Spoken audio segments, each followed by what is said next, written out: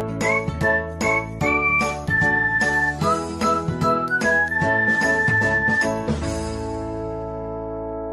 everyone welcome back to Vigyan institute my name is Prachi Kaushik अभी हम जो इस अपना लेक्चर में स्टार्ट करने वाले हैं बेटा, अभी हम आप, हम क्या करने वाले हैं? यहाँ पे हमारा पूरा ये टर्म वन का जैसे हमें पता है टर्म वन का हमारा सिलेबस आ रहा है, जो कि हमारे बायोलॉजी में पूरे, जैसे फ़र्स्ट यूनिट में है हमारा फ़र्स्ट चैप्टर हमारा डिडक्ट है, बाकी सेकेंड चैप्टर जो हमारा sexual production in flowering plant second हमारा ह्यूमन रिप्रोडक्शन एंड थर्ड जो है हमारा रिप्रोडक्टिव हेल्थ ठीक है, उसके बाद जो सेकेंड यूनिट देखते हैं हम, उसमें हमारी उसमें जेनेटिक्स है और जो उसके आगे वाला जो नेक्स्ट चैप्टर है वो हमारा मॉल बायो अब आप बोलोगे हमने, अभी हमारे पास टाइम तो बहुत कम बचा है और अभी हमें पूरा ये सिलेबस अपना कैसे फिनिश हम कर पाएँगे? तो इसके लिए आपके ये पूरा वन शॉट लेक्चर है। विद इन आपको यहाँ पे वन आवर्स में, ठीक है, या फिर प्लस उसमें ट्वेंटी मिनट्स या फिफ्टीन मिनट्स और ऐड हो जाएँगे। उतने में आपको पूरा एक चैप्टर आपको फिनिश मिलेगा। जिसमें हम यहाँ पे सीखेंगे कि हमारे कौन से ज़्यादा इंपॉर्टेंट क्वेश्चंस इसमें, इस कंटेंट्स में हमारे बैठते हैं। ये पूरा आपका जितने भी प्रॉपर नोट्स जो है आपका वो एक एग्जा एन के फॉर्म में ही है, ठीक है? जो मेन मेन इसमें आपका पार्ट आता है। तो और बाकी जब आप ये पूरा अपना जितना भी हम इसमें अपना कंटेंट पढ़ेंगे एज अ चैप्टर वाइज जो भी हमारे चैप्टर्स जो भी हमारे टर्म वन में आ रहे हैं, उनके अकॉर्डिंग ठीक है? तो उसके बाद आप इसमें कुछ क्वेश्चन की आप प्रैक्टिस करेगा और उसमें आप देखोगे कि मोस्ट ऑफ़ आपके क्वेश्चन में यहाँ पे सॉल्व हो जाएगा ये आपके लिए बहुत ही ज़्यादा बेनिफिशियल रहेगा, ठीक है? अच्छा ये तो अभी बात हुई कि हमारी ये टर्म वन के लिए ये हो गया कि हम विदिन मतलब बहुत अभी हमारे पास शॉर्ट टाइम है, उसमें हम अपना कैसे कर पाएँ? लेकिन ये जब कुछ इस वीडियो को अगर आगे बहुत से बच्चे कुछ टाइम बाद भी देखते हैं तो ये उनके लिए भी बेनिफिशियल रहेगा। कैसे बेनिफिशियल रहेगा।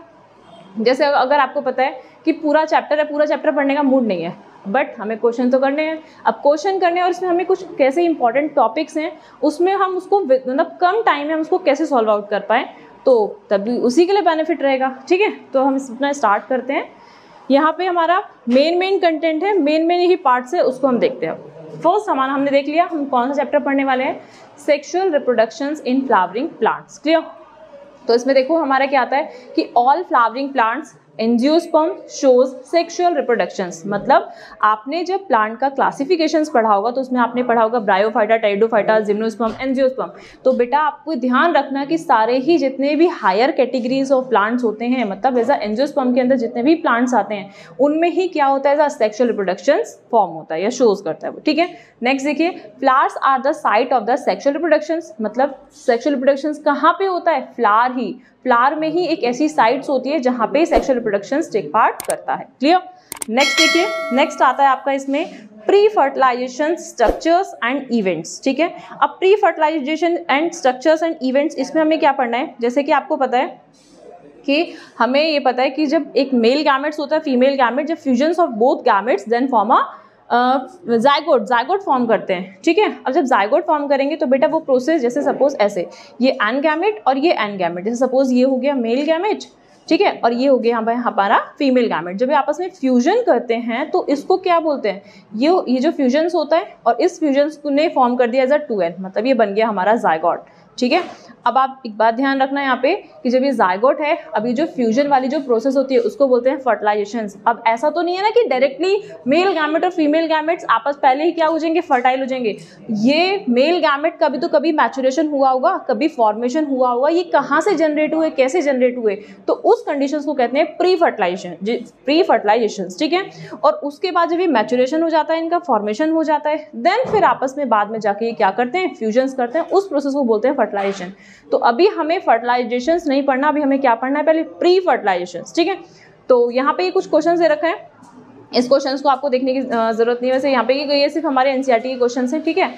तो अभी हम अपने टॉपिक पर आते हैं, जो कि हमारा टॉपिक है several hormonals and structural changes are initiated results developments of floral primordium मतलब जो हमारा फ्लावर होता है, जो प्रीमोडियम्स होता है, उसमें डेवलपमेंट होता है, उसमें कुछ चेंजेस आते हैं। चेंजेस कहाँ से आते हैं? हार्मोनल चेंजेस आते हैं और बेटा कुछ स्ट्रक्चरल चेंजेस आते हैं। क्लियर अब देखिए इनफ्लोरोसेंस पहले अगर मैं इनफ्लोरोसेंस की बात करूँ तो दैट बियर द फ्लोरल इसमें फ्लोरल बर्ड्स होती है एंड देन द फ्लावर्स मतलब कुछ इसमें बर्ड्स बर्ड्स का मतलब जो हमारी कली होती है प्लांट्स के अंदर फ्लावर वाले पार्ट में, उसमें वो फ्लोरल बर्ड हो गई और देन फिर फ्लावर फॉर्म होता है। ठीक है? अब हम इसमें यहाँ पे हमारा देखते हैं, दो पार्ट है। जिसमें आपका एक आता है एंड्रोशियम और एक आता है बेटा आपका गाइनोशियम ठीक है? तो देखो, सबसे पहले हम यहाँ पे देखते हैं इसके एंड्रोशियम को। अगर मैं यहाँ पे इसके स्ट्रक्चर्स ऑफ़ फ्लावर की बात करूँ तो देखो इसमें एंड्रोशियम एंड्रोशियम हमेशा याद रखना है androecium is a male reproductive part ये क्या होता है? ये मेल रिप्रोडक्टिव पार्ट होता है, ठीक है ऑफ़ आ प्लांट्स का। मेल रिप्रोडक्टिव पार्ट ठीक है of a plants it consist anther and filament जैसे अगर मैंने, मैं इसके स्ट्रक्चर्स को इस तरीके से ड्रॉ करूँ तो यहाँ पे ये वाला हो गया बेटा एंथर लूप इसको एंथर लूप बोलते हैं। और ये जो स्टॉक लाइक स्ट्रक्चर से ये क्या हो गया? फिलामेंट ठीक है? इसके अंदर आप यहाँ पे देखोगे कुछ पोलन सैक होंगे और पोलन सैक के अंदर क्या होता है? पोलन ग्रेन होते हैं. क्लियर नेक्स्ट देखिए. नेक्स्ट आता है आपका गायनोशियम गायनोशियम अच्छा जब ये एंथर और फिलामेंट जब होता है ना तो इसको क्या बोलते हैं? इसकी पूरी एक यूनिट होती है स्टामेन ठीक है? अब देखिए गायनोशियम गायनोशियम की जो एक पूरी यूनिट होती है पिस्टल बोलते हैं उसको उसमें क्या क्या होता है? Stigma style ovary. जैसे इसके स्ट्रक्चर को मैं ड्रॉ करूँ तो बेटा ये आपका इस, क्या हो गया? इस तरीके से इसका फीमेल रिप्रोडक्टिव हमने एक ऑर्गेन बना दिया। यहाँ पे हमने एंड्रोशियम को मेल रिप्रोडक्टिव बोला था। गायनोशियम को हम यहाँ पे क्या बोलेंगे? ऐसा फीमेल रिप्रोडक्टिव ठीक है? तो ये वाला देखो ये वाला जो पार्ट है ये क्या है? स्टिग्मा। इसको क्या बोलते हैं? स्टिग्मा ये वाला पार्ट स्टिग्मा अच्छा मैं यहीं पे मार्क कर देती हूँ। ये वाला स्टिग्मा हो गया, ये स्टाइल हो गया and this is the basal and bulges part this called ovary ठीक है? और ये वाला आपको पार्ट दिख रहा है, ये क्या है? ये as a tube like structures है एज अ स्टाइल ठीक है? Which carry the male gamete जो मेल गैमेट्स को कैरी करता है। अब इसमें आप यहाँ पे आप देखो, ये क्या है? ओव्यूल ओवरी के अंदर ओव्यूल होता है। तो इसको बोलते हैं ओव्यूल क्लियर तो अभी हमने सिर्फ़ एंड्रोशियम देखा, गायनोशियम देखा कि एंड्रोशियम हमने देखा स्टामेन। अब आपको इसमें से भी ऑप्शन मिल जाएँगे कि एंड्रोशियम जो है वो क्या है?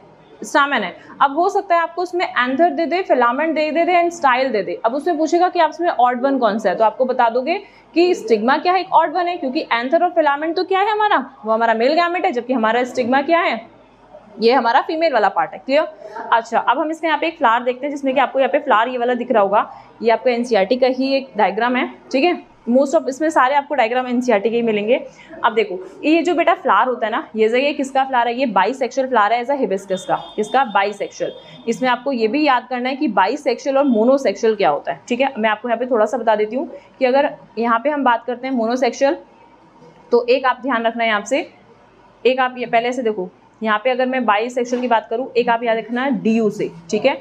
डी यू मतलब यूनिसेक्शुअल जो यू होगा वो यूनिसेक्शुअल और डी का मतलब डाइशियस और यहाँ पे अगर मैं बात करूँ, एक एम बी से याद रखना एम बी का मतलब क्या हो गया? मोनोसेक्शुअल और बाई का मतलब मोनोइशियस और बाई का मतलब हो गया बी का मतलब हो गया बाईसेक्सुअल जैसे हमने यू में पढ़ा यूनिसेक्शुअल बी में हमने पढ़ा बाईसेक्सुअल डी का मतलब हमने पढ़ा डाइशियस और एम का मतलब हमने पढ़ा यहाँ पे मोनोइशियस ठीक है? कभी कभी डायरेक्टली इसी टाइप से क्वेश्चन भी पूछ लेता है. कि जो बाईसेक्सुअल्स होते हैं, वो मोनोइशियस होते हैं या डाइशियस तो आपको सिर्फ़ इसी ट्रिक से याद रखना है कि डी यू मतलब दिल्ली यूनिवर्सिटी से याद रख लेना कि यू मतलब यूनिसेक्सुअल और डी मतलब डाइशियस और आप ऐसे याद रख लेना इसको एम बी एम बी का मतलब बी मतलब बाईसेक्सुअल और एम का मतलब मोनोएशियस क्लियर तो इसमें हमने यहाँ पे क्या देखा? ये क्या हो गया? आप देखो, आपको ये स्टिग्मा दिख रहा है स्टाइल ठीक है? इसके बाद आपको यहाँ पे क्या दिख रहा है? स्टिग्मा स्टाइल हो गया ओवरी ये जो मैंने तीनों जो मार्क करे हैं this is the female productive part है। अगर मैं इसकी बात करूँ एंथर की और एक फिलामेंट की, ये एंथर और यहाँ पे हमारा एक फिलामेंट मतलब ये एंथर हो गया, ये फिलामेंट हो गया, ये मेल वाला पार्ट है, ठीक है? इसके बाद आप देख रहे हो ये पैटल्स पैटल्स क्या होती है हमारी यहाँ पे? जो कि हमारी कोरोला होती है। इसका मतलब बटानिकल्स अगर वे में देखो उसका तो नाम क्या होता है? कोरोला और जो हमारी सैपल होती है, उसका नाम क्या होता है? कैलिक्स आपसे ये यूनिट भी पूछ सकता है कि सैपल्स को और क्या बोलते हैं? तो आपको पता होना चाहिए कि सैपल को क्या बोलेंगे? सैपल को बोलते हैं कैलिक्स मैं इसको यहाँ पे लिख देती हूँ। कैलिक्स क्लियर और जो पेटल्स है बेटा पेटल्स को क्या बोलते हैं? पेटल्स को बोलते हैं कोरोला कोरोला क्लियर नेक्स्ट देखिए। ये ओवरी हो गई और ओवरी के अंदर यहाँ पे इस तरीके से यहाँ पे क्या हो जाएगा एज अ ओव्यूल ठीक है? और ये नेक्टिफेरस एरिया हो गया जहाँ पे नेक्टर्स प्रेजेंट होता है क्लियर तो अब हम देखते हैं अब हमारा, अभी हमने सिर्फ़ एक स्ट्रक्चर्स देखा और हमने इसका भी ये देखा कि यूनिसेक्शुअल है और बाईसेक्शुअल्स हमारा क्या क्या होता है। तो अब हम इसमें यहाँ पे देखते हैं पहले एंड्रोशियम अभी हम यहाँ पे पूरा एंड्रोशियम पढ़ेंगे, क्योंकि अभी हम क्या पढ़ने वाले हैं? अपना पूरा हम ये देखेंगे कि किस तरीके से मैच फॉर्मेशन हुआ है द मेल गैमेट्स का। अब देखते हैं हम अपना एंड्रोशियम एंड्रोशियम जैसे कि अभी हम पढ़ ही चुके हैं कि हमारा मेल प्रोडक्टिव पार्ट होता है और क्या होता है, इसको उसकी यूनिट्स को क्या कहते हैं? स्टामिन ठीक है? तो अब देखो यहाँ पे क्या है it is a male flowering plants parts मतलब मेल फ्लावरिंग मेल क्या है फ्लावरिंग का पार्ट्स है ये, ठीक है? इन अ प्लांट्स में। It consist two parts first is anther and second one is filaments तो फटाफट से इसके स्ट्रक्चर्स को देखते हैं। देखो, ये आपको यहाँ पे दिख रहा है, ये क्या है बेटा? एंथर है। आपको इस तरीके से ये बाई लूप स्ट्रक्चर दिख रहा है, ठीक है? और ये this one is called filament as a stalk like structures ठीक है? ये आपका क्या हो गया पूरा? ये फिलामेंट्स हो गया, ये वाला, ठीक है? और इसके बाद आप देखो, यहाँ पे इसमें आपको बी स्ट्रक्चर्स दिख रहा होगा, जिसमें आपको ये डेहिसेंस वाला पार्ट दिख रहा है। फ़र्स्ट इज़ यहाँ पे क्या है, हमारे पोलन ग्रेन जैसे अगर मैं इसके स्ट्रक्चर्स को ऐसे करके यहाँ पे ड्रॉ करूँ तो आपके आपको एक ऐसे यहाँ पे स्ट्रक्चर दिखेगा, ठीक है? तो यहाँ पे इस तरीके से ऐसे दिखेगा एक स्ट्रक्चर्स जब ये टेट्रा फॉर्म में हो गया। यहाँ पे आपको इसकी जो मैंने बनाए है ना, ये छोटे छोटे अगर मैं डॉट बनाऊँ तो यहाँ पे इसमें पोलन ग्रेन आ जाएँगे इनसाइड किसके इनसाइड होंगे ऐसा? पोलन सेक के अंदर, ठीक है? इसके बाद यहाँ पे आपको ये दिख रहा है ये पोलन सेक तो यहाँ पे देखो, ये वाला जो ये रीजन है जो मैंने मार्क किया हुआ है दिस वन इज़ कॉल्ड क्या हो गया ये हमारा? ये वाला हो गया हमारा पोलन सेक ठीक है? और इसके अंदर हमारे क्या हो जाएँगे? पोलन ग्रेन्स तो यहाँ से जो डॉट डॉट जो मैं बना रही हूँ, ये पोलन ग्रेन हो गए और इसके बाहर वाला ये हो गया, ठीक है? और ये जो लाइन आपको दिख रही है ना, ये वाली ये जो लाइन है, ये क्या है? लाइन ऑफ़ डेहिसेंस डेहिसेंस का मतलब क्या होता है? जब इसकी ये फुली मैच्योर हो जाते हैं ना पोलन ग्रेन्स तब इसकी मैमरेन जो होती है, वो ब्रेक डाउन हो जाती है। तो उसी वर्ड को बोलते हैं डेहिसेंस डेहिसेंस जब ये मैचुरेशन हो जाएगी, तब ये ब्रेक डाउन होकर बाहर निकलने स्टार्ट हो जाएँगे। क्लियर अब देखो, यहाँ पे हमने ये तो देख लिया एंड्रोशियम वाला पार्ट अब हम इसमें हमारा देखते हैं इसमें और क्या क्या होता है। तो इसमें आपको बताना है कि anther is a bilobed structure. Anther क्या होता है? एक बाइलूट स्ट्रक्चर होता है। जस्ट अ मिनट एंथर क्या होता है? देखो, anther is a bilobed structure. So it's have a dithecous and also have a tetrasporogenous tissues. मैंने अभी आपको एक स्ट्रक्चर ड्रॉ करके दिखाया यहाँ पे, ये वाला। ये कैसा है बेटा? इसको बोलते हैं टेट्रा। इसको क्या बोलते हैं? टेट्रा स्पोरोजिनेट कंडीशन है ये, ठीक है? Tetrasporangiate clear? एक बात ध्यान रखना मेरी, अगर मैं यहाँ पे इसको इस तरीके से बनाती हूँ तो बेटा ये मोनोथीकस है। यहाँ पे इस तरीके से हमारे यहाँ पे क्या आएँगे? ये हमारे बाईस पोरोजिनेट, ये जो स्पोर बन रहे हैं, ये दो स्पोर बन रहे हैं, इसीलिए इसको बाईस पोरोजिनेट बोलते हैं। अगर मैं यहाँ पे आपको एक इस तरीके से बना देती हूँ तो यहाँ पे आप क्या देखोगे? ये कैसी कंडीशन बनेगी? ये बनेगी टेट्रा मतलब ये डाईथीकस ये जो मैंने जो सर्कल में बनाया ना, ये जो एंथर लूब है, ये मोनोथीकस है. और ये जो मैंने बनाया यहाँ पे, ये कैसे हैं? ये बाई लूब स्ट्रक्चर्स है. ठीक है, इसलिए इसको बोलेंगे टेट्रा स्पोरोजिनेट कंडीशन क्लियर नेक्स्ट देखिए. नेक्स्ट में क्या आता है? Filament is a just a minute देखो क्या आता है? Filament is a stalk like structures अभी हमने देखा एक ट्यूब लाइक स्ट्रक्चर था स्टॉक लाइक स्ट्रक्चर था थिन फिलामेंट था which connect to the anther lobe जो कि किससे कनेक्ट था? एंथर लूप से। देखो, यहाँ पे ये एंथर लूप हो गया और जिससे किससे कनेक्ट है? ये एंथर लूप से कनेक्ट है फिलामेंट ठीक है? अब एक देखते हैं माइक्रोस्पोरोजेनेसिस माइक्रोस्पोरोजेनेसिस का मतलब आप कहीं पे भी आप देखते हो माइक्रो और मेगा ठीक है? या फिर आप मैक्रो देखते हो। तो बेटा जो माइक्रो होता है, वो स्मॉल होगा, ये हमें पता है। और जो मेगा या मैक्रो होगा वो लार्ज होगा, ठीक है? तो आप ध्यान रखना कि जो माइक्रो की बात करता है मतलब मेल की बात करता है और जो मेगा जो होते हैं वो लार्ज होते हैं, ठीक है? वो किसमें होते हैं? वो फीमेल में होते हैं। और यहाँ पे बोल रहा है स्पोरो स्पोरो का मतलब स्पोर और जेनेसिस जेनेसिस का मतलब हो गया फॉर्मेशन मतलब यहाँ पे जो formation of the male gametes तो तो उसी को हम क्या बोलेंगे? माइक्रोस्पोरोजेनेसिस ठीक है? अब मैं आपको फटाफट से ये डायग्राम समझाती हूँ। देखो ये डायग्राम हमारे यहाँ पे क्या बताता है? जैसे कि अभी मैंने स्ट्रक्चर्स आपको बना के दिखाया था, इसमें आपको यहाँ पे अलग अलग मैमरेन दिख रही है, ठीक है? तो जैसे यहाँ पे एक आउटर आपको मैमब्रेन दिख रही है इसकी तो इसकी आउटर मेम्ब्रेन का क्या नाम होगा? नाम भी पूछते हैं साथ साथ आपको इस पर सिक्वेंसिंग भी पूछ लेंगे कि जो हमारी टेट्रसपोरोजिनेट जो टिश्यूज़ है, इसमें हमारी कौन कौन सी होती है? पहली जैसे हमारी होगी एक इपिडर्मिस फ़र्स्ट देखो फ़र्स्ट हमारी क्या हो गई? मैं इसमें नंबरिंग लिख रही हूँ। फ़र्स्ट इपिडर्मिस हो गई। और बेटा सेकंड वाली जो हमारी मैमब्रेन है, वैसे तो हमने, हमें पता है कि जैसे कुछ हमारी मैमब्रेन जो होती हैं, वो इपिडर्मिस होती हैं मीजोडर्म्स होती हैं देन फिर लास्ट में एंडोडर्म्स होती हैं, ठीक है? तो यहाँ पे जो सेकंड वाली जो हमारी मैमब्रेन होगी फ़र्स्ट तो हमारी इपिडर्मिस है करेक्ट है बट जो सेकंड मैमब्रेन है ना, उसका नाम है एंडोथीशियम क्लियर उसके बाद जो थर्ड जो मैमब्रेन है, उसको बोलते हैं मिडिल लेयर इसके बाद आप यहाँ पे देखोगे, इस तरीके से यहाँ पे एक ऐसे पोलन सेक के ऊपर एक ऐसे जिग्जैक स्ट्रक्चर बनाया, उसको बोलते हैं टैपेटम देन फिर पोलन सेक एंड देन फिर लास्ट में आपका क्या होगा? पोलन ग्रेन्स प्रेजेंट होंगे, ठीक है?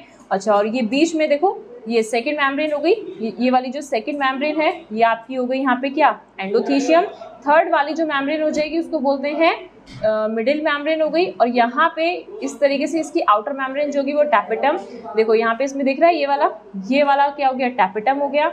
इसके अंदर वाला यहाँ पे स्पोरोजीनियस टिश्यूज हो जाएँगे और यहाँ पे इसके अंदर की जो मैमब्रेन है, ये वाली जो मैंने मार्क की हुई है, ये हो जाएगी पोलन सेक क्लियर और यहाँ पे बेटा आप देख रहे हो, ये जो सेंटर में है, ये क्या है? कनेक्टिव टिश्यू तो हो सकता है आपको डायग्राम दे दे। आपको डायग्राम में आपको उसकी, इसकी लेबलिंग करनी हो या फिर हो सकता है ये क्वेश्चन आपका ऐसे पुटअप हो जाए कि आपको सीक्वेंस दे दे। तो सीक्वेंस में आप यहाँ पे आप थोड़ा सा चेंज मतलब आपके माइंड में ये आ सकता है कि हमने तो आउटर तो पढ़ा है एपिडर्मिस सेकेंड जो हमने पढ़ी है वो मिडिल लेयर पढ़ी है या फिर हमने म्यूजोडम पढ़ा है। तो आप उसको मिडिल लेयर कर दोगे। बट इस केस में आप ध्यान रखना कि जब हम यहाँ पे एनजियोस्पर्म की बात करते हैं और माइक्रोस्पोरोजेनेसिस में जब इसका टेट्रास्पोरोजेनेट की कंडीशंस का जब डायग्राम देखते हैं तो इसमें हमारा क्या आता है? ये वाला बनता है एंडोथीशियम सेकेंड लेयर और जो थर्ड लेयर है बेटा आपकी, वो वो होती है आपकी मिडिल लेयर क्लियर अब देखो, इसमें आपकी ये ऑप्शन है आउटर वाली इपिडर्मिस हो जाएगी सेकेंड वाली मेम्ब्रेन एंडोथीशियम हो जाएगी, अंदर वाली मेम्ब्रेन मिडिल लेयर हो जाएगी देन फिर माइक्रोस्कोप मदर सेल्स हो जाएँगे।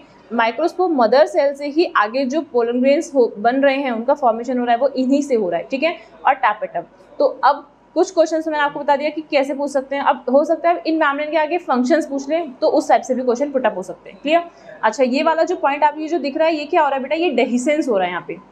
डेहिसेंस का भी हमने मीनिंग पढ़ा। डेहिसेंस का मतलब क्या होता है? एक सेकेंड डेहिसेंस का मतलब क्या होता है? हम यहाँ पे break down of this membrane जब ये मैचुरेशन हो जाएगा हमारा फुली पोलन ग्रेन्स का तो ये मैमब्रेन ब्रेक डाउन हो जाएँगी। उस प्रोसेस को कहते हैं डेहिसेंस तो यहाँ से आप देख रहे हो धीरे धीरे यहाँ पे पोलन ग्रेन्स क्या हो रहे हैं? बाहर आने के लिए एकदम रेडी है ठीक है? और फिर वहाँ पे कौन सी प्रोसेस होगी? फर्टिलाइजेशन की। अभी तो यहाँ पे सिर्फ़ पॉलिनेशन हो रहा है कि मतलब वो जा रहे हैं। ठीक है? मतलब मेल वाले पार्ट से रिमूव हो रहे हैं। क्लियर अब हम इसमें देखते हैं हमारा कि जो हमारी जितनी भी हमने मेम्ब्रेन्स पढ़ी, उनका हमारे यहाँ पे फ़ंक्शंस क्या है। तो देखो, या पहले इसका फॉर्मेशन देख लेते हैं, इसका फॉर्मेशन कैसे हुआ? तो देखो, यहाँ पे माइक्रोस्पोरोजेनेसिस यहाँ पे ये बोल सकते हो कि microspore mother cells of the pollen mother cells यहाँ पे आपको एक सिंगल दिख रहा है, यहाँ पे एक है। यहाँ पे म्यूसिस डिवीज़न हुई। म्यूसिस आपने माइटोसिस और म्यूसिस पढ़ा है। माइटोसिस म्यूसिस में सिर्फ़ छोटा सा इतना डिफरेंस होता है कि वैसे तो हमने पूरा क्लास इलेवंथ हमने उसके अलग अलग फेजेस पढ़े हैं कि उसमें हमारा mitosis normal one two two मतलब एक से टू डॉटर न्यूक्लियाई का फॉर्मेशन करती है, जबकि जो म्यूसिस होती है वो एक से फोर डॉटर न्यूक्लियाई का फॉर्मेशन करती है। और आपको पता है कि म्यूसिस थोड़ा लार्ज भी होता है, क्योंकि उसमें meiosis first and meiosis second होता है, ठीक है? और जो कि हायर कैटेगरी ऑफ़ एनिमल्स और हायर कैटेगरी ऑफ़ प्लांट्स में होता है। और हम क्या पढ़ रहे हैं? हम हायर कैटेगरी तो पढ़ रहे हैं प्लांट्स में तो एंजियोस्पर्म है, ठीक है? तो इसमें हमारा क्या होगा? म्यूसिस फ़र्स्ट मतलब ये हमारी एक से दो पार्ट में डिवाइड होगी, ये ये डिवाइड होगी दो पार्ट में।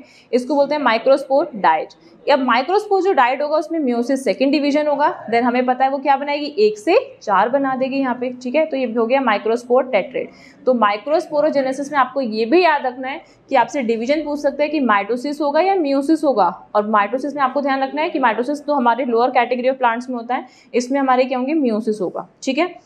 चलिए, इसमें अब डाइट्स और ट्राइट्स में ध्यान रखना है। यहाँ पे जो इसमें फ़र्स्ट जो बनाता है यहाँ पे, ये हमारा क्या होता है? इसमें कुछ पेरिटियल सेल्स होती हैं और यहाँ पे हमारी स्पोरोजीनियस टिश्यूज होते हैं। तो ये जो स्पोरोजीनियस टिश्यूज होते हैं, ये फॉर्मेशन ऑफ़ मतलब हेल्प करते हैं टू फॉर्म करने में ऑफ़ द पोलन ग्रेन्स को।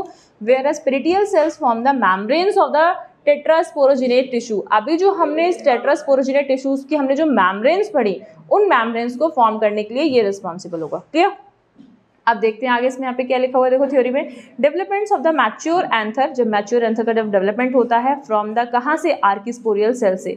जैसे मैंने आपको बताया, ये ये हमारी क्या थी? प्राइमरी मतलब माइक्रोस्कोप मदर सेल्स है, ठीक है? As a polar mother cells के फॉर्म में। यहाँ पे ये भी कहाँ से आई?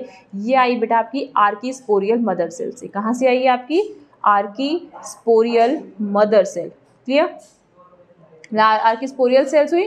अब आर्किस्पोरियल सेल्स फिर इसमें हमारी जो जो पोलर मदर सेल्स होगी, उसमें फॉर्म होगी। क्लियर एंड अंडरगो म्योसिस अब ये क्या होगी? अंडरगो म्योसिस डिवीज़न में जाएगी and form of parietal cells and sporogenous cells मैंने अभी आपको बता दिया फ़र्स्ट हमारी ये क्या है? पेरिटियल सेल्स है, जो सेकेंड हमारी स्पोरोजिनियस सेल्स है। तो मैंने आपको बताया कि क्या क्या फॉर्म करने के, में अपना ये कॉन्ट्रीब्यूशन देती है। ठीक है?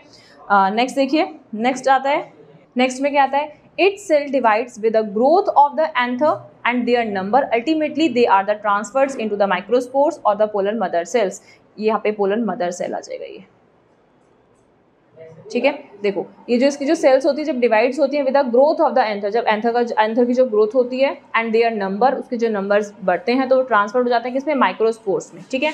और किसमें? पीएमसी पोलर मदर सेल्स में। Next the separated mother cells rounds of the undergo meiosis to produce a tetrad अभी हमने देख लिया tetrads बनाएगी of the haploid microscopes और the pollen grains. अब जो pollen grains होंगे, वो कैसे होंगे? एज अ नेचर पे होंगे. ये भी आपको ध्यान रखना है यहाँ से, ये क्वेश्चन भी पुटअप हो सकता है कि जो pollen grains होते हैं, वो हैप्लॉइड होते हैं डिप्लॉइड्स आपको ध्यान रखना है मेल गैमेट ऑलवेज हैप्लॉइड्स चाहे वो मेल हो, चाहे वो फीमेल हो. गैमेट्स हमेशा कैसे होंगे? हैप्लॉइड्स बट जब जायगोट होगा तो वो आपका डिप्लॉइड होगा. Clear next and parietal cells will form a three to four layers और पेरिटियल लेयर क्या करेगी? थ्री टू फोर लेयर्स का फॉर्मेशन करेगी माइक्रोस्पोरोजिनेट्स वॉल बना देगी, ठीक है? अब हम इसके फ़ंक्शंस देखते हैं कि ये जो फ़ंक्शंस है अपना कैसे करती है। तो फ़र्स्ट हमारी जो इसमें आती है, देखो फ़र्स्ट में क्या आती है? इपिडमिस तो इपिडमिस क्या करती है? It is the outermost layer हमने पढ़ा। सबसे आउटर मोस्ट मैमब्रेन होगी उसको इपिडर्मिस ही बोलते हैं।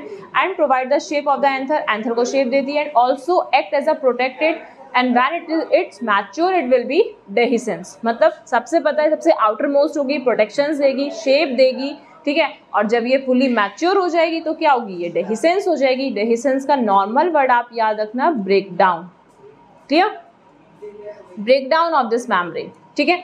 अब नेक्स्ट देखते हैं। सेकेंड मैमब्रेन कौन सी आ गई? नॉटा एंडोथीशियम आएगी। नॉटा मिडिल मिडिल मैमब्रेन ठीक है? It is the middle membranes मतलब ये एक मिडिल मैमब्रेन्स के फॉर्म में तो है एंडोथीशियम्स बट मिडिल लेयर्स नहीं है आपकी ये। आप ये नहीं बोल सकते कि ये मिडिल उसकी जो जो थर्ड वाली मेम्ब्रेन है वो मिडिल मेम्ब्रेन है ठीक है? बीच में आ गई यहाँ पे। तो इसीलिए इसको बोला बेटा मिडिल लेयर ठीक है? ये कैसी है? मिडिल लेयर है। And having a alpha cellulose enzyme ये मोस्ट इंपॉर्टेंट पॉइंट पॉइंट है इसमें आपका ध्यान रखना। यही यहाँ पे क्या करता है एजा मतलब एजा उसको आ, ये यहाँ पे इसको डेहिसेंस करने में हेल्प करता है। ठीक है? एंडोथीशियम क्या करता है? अल्फ़ा सेलुलोज एंजाइम्स में प्रेजेंट होता है जिसी की वजह से यहाँ पे क्या होता है? डेहिसेंस हो पाता है। It have multinucleate multinucleate nature में होता है in natures and form a ubisch granules और यूबिश ग्रैनुअल्स को फॉर्म करता है। क्लियर अब देखो नेक्स्ट आगे क्या पढ़ते हैं? नेक्स्ट में आगे हमारे यहाँ पे मिडिल लेयर ठीक है? मिडिल लेयर देखो, फिर आएगा हमारा टैपेटम तो इसमें हम देखते हैं मिडिल लेयर मिडिल लेयर क्या करती है? It is the innermost layer ये हमारी थर्ड लेयर है। मैच्योर एंथर की and it's provide the nutrition to the anther और एंथर को क्या करती है? न्यूट्रिशंस अब आप ध्यान रखना, हमने एंडोथीशियम में पढ़ा अल्फ़ा सेलुलोज एंजाइम जिसकी वजह से वो डेहिसेंस में हेल्प कर रहा था। लेकिन मिडिल लेयर क्या करती है? उसको न्यूट्रिशन प्रोवाइड कराती है। ध्यान रखना है आपको, ठीक है? और जबकि आउटर मैमरिन क्या करती थी? एपिडमिस क्या करती थी? उसको प्रोटेक्शन प्रोवाइड करा दी थी। Next tapetum tapetum also multinucleate ये भी आपकी मल्टी न्यूक्लियर स्ट्रक्चर्स या आप मल्टी न्यूक्लिएट आप इसको बोल सकते हो स्ट्रक्चर्स होती है in the form form layers करती है which also provide the nutrient ये भी न्यूट्रिएंट प्रोवाइड कराती है when it develops it dehiscence जैसे ही ये डेवलप्ड हो जाती है तो ये क्या हो जाती है, ये डेहिसेंस हो जाती है। तो यहाँ पे अभी हमने क्या देख लिया सारा? जितने भी हमारे टेट्रस्पोरोजिनेट टिश्यूज था, उसका हमने स्ट्रक्चर्स देख लिया। क्लियर ये आपके कुछ क्वेश्चन ये आपके एडिशनल क्वेश्चन है एनसीईआरटी के तो अभी हम इसको अभी नहीं कवर करेंगे, ठीक है? अभी सिर्फ़ हमें अपना पूरा टॉपिक देखना है कि जो हमारा इंपॉर्टेंट टॉपिक है वो। अभी हम देखते हैं इसमें हमारा स्ट्रक्चर्स ऑफ़ पोलन ग्रेन्स अब पहले तो हमने देख लिया कि पोलन ग्रेन्स का फॉर्मेशन हो गया और पोलन ग्रेन क्या हो गया? जब मैचुरेशन हो गया उसे प्रॉपर न्यूट्रिशन मिल गया, तब वो डेहिसेंस हो गया। मतलब उसकी मेम्ब्रेन क्या हो गई? ब्रेक डाउन हो गई और वो बाहर निकलना शुरू हो गया रिलीज़ आउट हो गया आउटसाइड रीजन में। तो अब उसके स्ट्रक्चर्स देखते हैं। स्ट्रक्चर्स ऑफ़ पोलन ग्रेन्स में क्या होता है? देखो, ये भी सेम आपका सी का डायग्राम है एनसीईआरटी वाला, जिसमें आपको इसमें आउटर मैम्ब्रेन एक एग्जाइन और इनर मैम्ब्रेन जो होगी बेटा, वो इंटाइन आपको दिखेगी, ठीक है? अब आप देख रहे हो जो मैं एग्जाइन जो बना रही हूँ बेटा, ये वाली जो मैम्ब्रेन है एग्जाइन की कैसी है? इरेगुलर जबकि जो एंटाइन है, आपको देख रहा है, ये वाला, ये जो इंटाइन है, ये कैसी है? ये रेगुलर है सेम एज जैसे मैंने यहाँ पे बनाया, ठीक है? इसके बाद यहाँ पे आपको दिख रहा है ये वेजिटेटिव न्यूक्लियस ये वाला वेजिटेटिव न्यूक्लियस का पार्ट है और ये वाला किसका पार्ट है? ये जनरेटिव सेल्स का और जनरेटिव न्यूक्लियस वाला। ये जनरेटिव अंदर सेल्स हो गए, बाहर वाला जनरेटिव न्यूक्लियस वाला पार्ट हो गया ठीक है? अच्छा इसमें आप देखो, यहाँ पे आप इस तरीके से मैं स्ट्रक्चर आपको ड्रॉ कर रही हूँ। यहाँ पे आपको ये थोड़ा थोड़ा सा यहाँ पे ये दिख भी रहा होगा, है ना? जो थोड़ा सा एक्सटेंडेड पार्ट है। किसमें? एग्जाइन वाली मेम्ब्रेन पे। ठीक है? तो ये इस तरीके से पार्ट हो गया। तो यहाँ पे इसका मतलब क्या हो गया? ये इसको बोलते हैं स्पोरोपोलोनिन क्या बोलते हैं? स्पोरोपोलोनिन स्पोरो पोलोनिन क्लियर अभी हम इसका फ़ंक्शन भी पढ़ेंगे। और अब बेटा आपको यहाँ पे बीच में गैप दिख रहा है। This gap is called germ pore इसको क्या बोलते हैं? इसको बोलते हैं जर्मपोर बोलते हैं। ठीक है? अब देखिए फटाफट से। Intine intine is inner membrane which is a continue manner जो कि आप देख रहे हो कैसी होती है बेटा? कॉन्टिन्यू मैनर में होती है। ये इस तरीके से पूरी आपकी कॉन्टिन्यू मैनर में होगी। ठीक है? नेक्स्ट देखिए। Intine it is a made up of cellulose pectin question important है। यहाँ से बन सकता है। इंटाइन किससे बनी होती है? Intine made up of the cellulose और पैक्टिन की बनी होती है। एग्जाइन कैसी होती है? आउटर मोस्ट लेयर होती है which is a irregular manner अब इंटाइन और एग्जाइन तो याद रहेगा तो ईजी सा है। क्वेश्चन यहाँ से तो बनेगा नहीं, कि हमें पता है एग्जाइन मतलब एग्जिट होते हैं बाहर तो वो तो आउटर मेम्ब्रेन हो गई। इन टाइम मतलब इनसाइड तो मतलब अंदर वाली मेम्ब्रेन हो गई। तो यहाँ से तो क्वेश्चन नहीं आ सकता बट यहाँ से आ सकता है कि ये किसकी बनी हुई होती है? तो आपको बताना है सेलुलोज और पेक्टिन की बनी होती है, ठीक है? नेक्स्ट देखिए एग्जाइन एक्साइन क्या होती है? हैवा स्पोरोपोलोनिन स्पोरोपोलिन की इनके पास होता है इसमें यहाँ पे which biologically most resistant to protein अब बहुत इंपॉर्टेंट फ़ंक्शन है, इसका ध्यान रखना आप, कि अभी मैंने आपको बताया कि एक्साइन जब इस तरीके से है तो एग्जाइन के ऊपर क्या है कैसा जिग्जैक लाइक स्ट्रक्चर है, उसको बोलते हैं स्पोरोपोलोनिन जो कि क्या करती है? It's provide the resistant to protein highly resistance होती है मतलब जो भी, जो हमारा अंदर जो पोलन ग्रेन्स होते हैं ना जैसे मतलब एंजोस्टम प्लांट्स में तो उसमें वो डैमेज ना हो। मतलब सपोज़ जैसे जब वो डहीसेंस जब वो ट्रांसफ़र करते हैं जैसे पोलिनेशन के टाइम पे तो मैं, पता नहीं उसको कितना टाइम लग जाए उसको फीमेल गैमेट तक पहुँचने में, ठीक है? तो उसमें जब उसकी उसको टेम्परेचर मिले, उसको हाई टेम्परेचर मिले हाई उसको क्या मिले आपका पीएच वैल्यू मिले, ठीक है? उसको न्यूट्रिशंस कहाँ से देना है? तो वो सब कौन अपना इसमें रोल प्ले करता है? ऐसा स्पोरोपोलोनिन करता है क्लियर नेक्स्ट देखिए, इसमें यहाँ पे यही आ गया कि why do you think the design and the should be hard क्यों इसमें हार्ड होते हैं? आपको पता है प्रोटेक्शन देने के लिए इसमें हार्ड फॉर्म होती है, ठीक है? What is the function of jump pores ताकि इसमें जो भी, देखो, आप आगे ये पढ़ोगे, मैंने अभी आपको बताया, इस तरीके से ऐसे। ये इंटाइन हो गया। तो इंटाइन में बेटा ये जो जम्पोर होता है जम्पोर का आगे एक फ़ंक्शन होता है कि इंटाइन जो होती है, आगे जाके एक्सक्यूडेड हो जाती है थ्रू द जम्पोर अगर इसमें गैप नहीं होता ना तो गैप नहीं होगा तो ये पोलन ट्यूब के फॉर्म में बाहर कहाँ से आएगी? तो इंटाइन ही आगे जाके क्या बना देती है? एज अ पोलन ट्यूब का फॉर्मेशन कर देती है। ठीक है? तो आती कहाँ से हमारी? थ्रू द जम्पोर से। अब नेक्स्ट देखते हैं हम इसमें हमारा development of pollen grains pollen grains का डेवलपमेंट तो अभी हमने देखो इसका स्ट्रक्चर देख लो पहले, फिर इसका हम पढ़ते हैं। स्ट्रक्चर्स में हमारा क्या आता है? स्ट्रक्चर्स एक सेकेंड अभी स्ट्रक्चर्स हमने देख लिया, अब हम देखते हैं इसका development development of pollen grain जैसे कि आपको पता है, एक इसका बेटा ये वेजिटेटिव सेल हो गया और एक आपका ये जनरेटिव सेल हो गया, ठीक है? बाकी एक्साइन इंटाइन वगैरह ये है आउटर वाली एक्साइन हो गई, ये इंटाइन हो गई, ये हो गई हमारी एक्साइन और ये हो गई इसमें हमारी इंटाइन क्लियर तो आपको देखो, जो एक्साइन है सॉरी ये जो हमारा ये है वेजिटेटिव सेल्स और जनरेटिव सेल्स तो देखो, यहाँ पे ये जो वेजिटेटिव है ये आपका क्या बनाएगा बेटा? ये थोड़ा, उसमें आपको स्ट्रक्चर भी दिखा होगा, वो थोड़ा लार्ज था, ठीक है? ये वैक्यूल्स है फ़ूड वैक्यूल्स के फॉर्मेशन करेगा।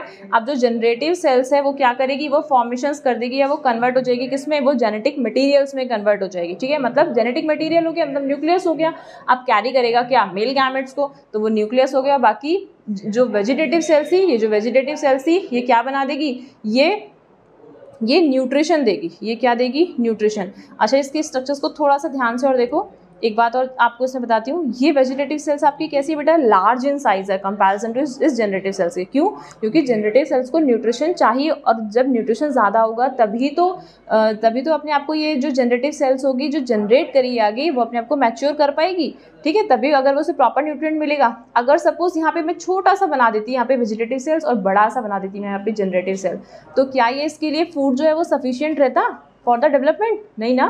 तो इसीलिए आपका इसका साइज़ कैसा है? लार्ज और इसका साइज़ कैसा है? स्मॉल क्लियर तो यहाँ पे अभी हमने इसमें यहाँ पे ये भी देख लिया कि ये वैक्यूल्स बना दिया और वैक्यूल्स क्या कर देगा? इसको फूड्स को स्टोर करने का काम करेगा। ठीक है?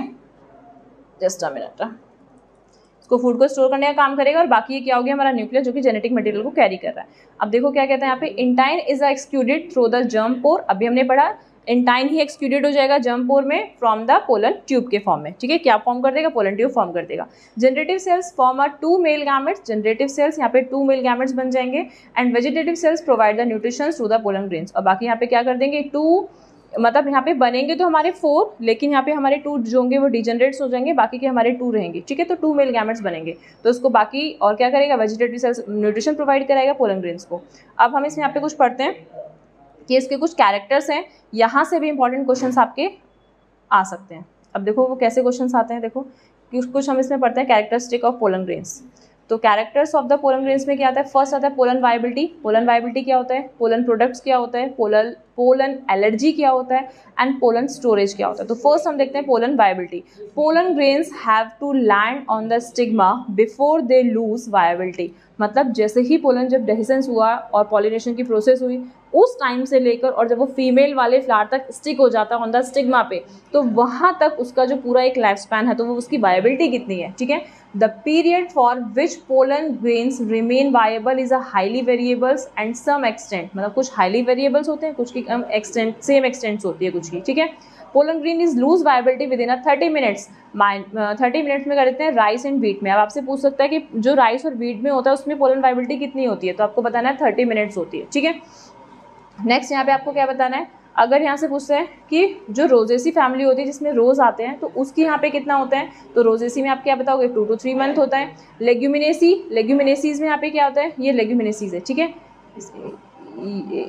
ई लेग्यूमिनेसीज में कितना आता है बेटा? ये थ्री टू फोर मंथ का आता है। सोलेनेसी सोलेनेसी फैमिली में कितना आता है? फाइव मंथ का आता है, ठीक है? लेग्यूमिनेसी में सारी आपकी पल्सेस वगैरह जितनी भी होती हैं, वो सब आ जाएगा और सोलेनेसी में आपका जो पटैटो होता है, ठीक है? ये सब इसमें आ जाएगा। पटैटो ब्रिंजल वगैरह, ये सब इसमें सोलेनेसी में आ जाएगा टोमेटो वगैरह, ठीक है?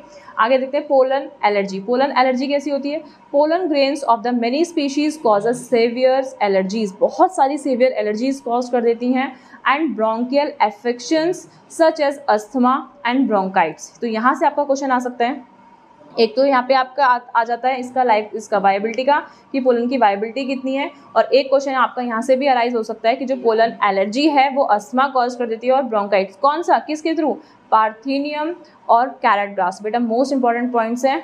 यहाँ से आपको क्वेश्चन देखने को पक्का मिलने, मिलेगा इस टाइप से, ठीक है? कि पार्थीनियम और कैरेट ग्रास क्या करती है? पोलन एलर्जी कॉज करती है। That came into the India's adds a contaminates with a wheat and that cause allergy और क्या कॉज कर देती है? एलर्जी को कॉज कर देती है, ठीक है? नेक्स्ट देखिए नेक्स्ट अभी हमने अपने दो फिनिश किए पोलन वाइबिलिटी और पोलन एलर्जी फिनिश किया। अब हम इसमें देखते हैं हमारा पोलन प्रोडक्ट क्या है फिर देखते हैं पोलन स्टोरेज तो पोलन प्रोडक्ट्स में क्या है? Pollen grains are rich in nutrients nutrients में रिच होते हैं वो हमारे। It is use as a pollen tablets के फॉर्म में यूज़ किए जाते हैं एज अ फ़ूड सप्लीमेंट्स के फॉर्म में। In western countries are large numbers of pollen products in the form of tablets and the syrup available in a market जो कि markets में अवेलेबल होती है। जैसे जैसे हम देखते हैं, कुछ एथलीट्स वगैरह होते हैं, उनकी एनर्जी को क्या कर देते हैं? इन्हेंस कर देते हैं तो इसलिए वो कुछ इसकी पोलन की टैबलेट्स लेते हैं, उसके कुछ सीरप यूज़ करते करते हैं जिससे वो अपनी एनर्जी को क्या कर सके? इंक्रीज कर सके इनहेंस कर सके, ठीक है?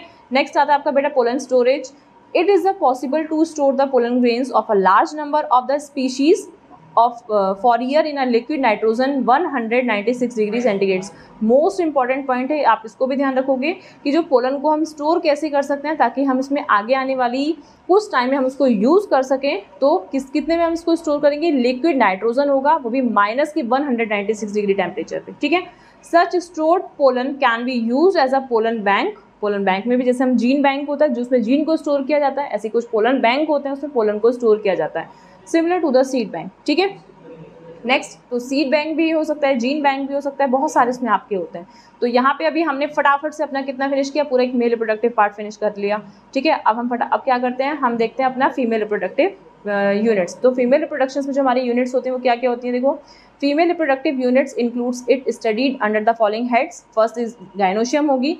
हमने वहाँ पे एंड्रोशियम पढ़ा था। एंड्रोशियम को हमने इसमें क्या बोलता है? स्टेमेन तो यहाँ पे हम गाइनोशियम पढ़ रहे हैं जिसमें हम बोल रहे हैं इसमें पिस्टल मेगा स्पोरेंजियम, ठीक है? इसके बाद ओव्यूल। मेगा स्पोरेंजियम क्या है यहाँ पे? इसका आपका ओव्यूल। मेगा स्पोरोजेनेसिस वहाँ पे हमने माइक्रोस्पोरोजेनेसिस पढ़ा था। यहाँ पे हम मेगा स्पोरोजेनेसिस पढ़ेंगे। एंड एम्ब्रियोसेक अब देखिए, गाइनोशियम। गाइनोशियम क्या है आपकी? Pistil. Gynoecium or a pistil is a female reproductive part and carpel is the unit of gynoecium. और कार्पल क्या है? कार्पल जैसे मैंने आपको बताया था, उसमें क्या था, उसमें स्टैमेन उसकी यूनिट थी, एंड्रोशियम की। इसमें यहाँ पे आप, इसकी यूनिट क्या हो जाएगी? कार्पल इसकी यूनिट हो जाएगी, ठीक है? गायनोशियम की फीमेल रिप्रोडक्टिव वाले की। अब देखो, gynoecium may be a comprise of one or more carpel हो सकता है मे वन कार्पल भी हो सकता है टू कार्पल भी हो सकते हैं।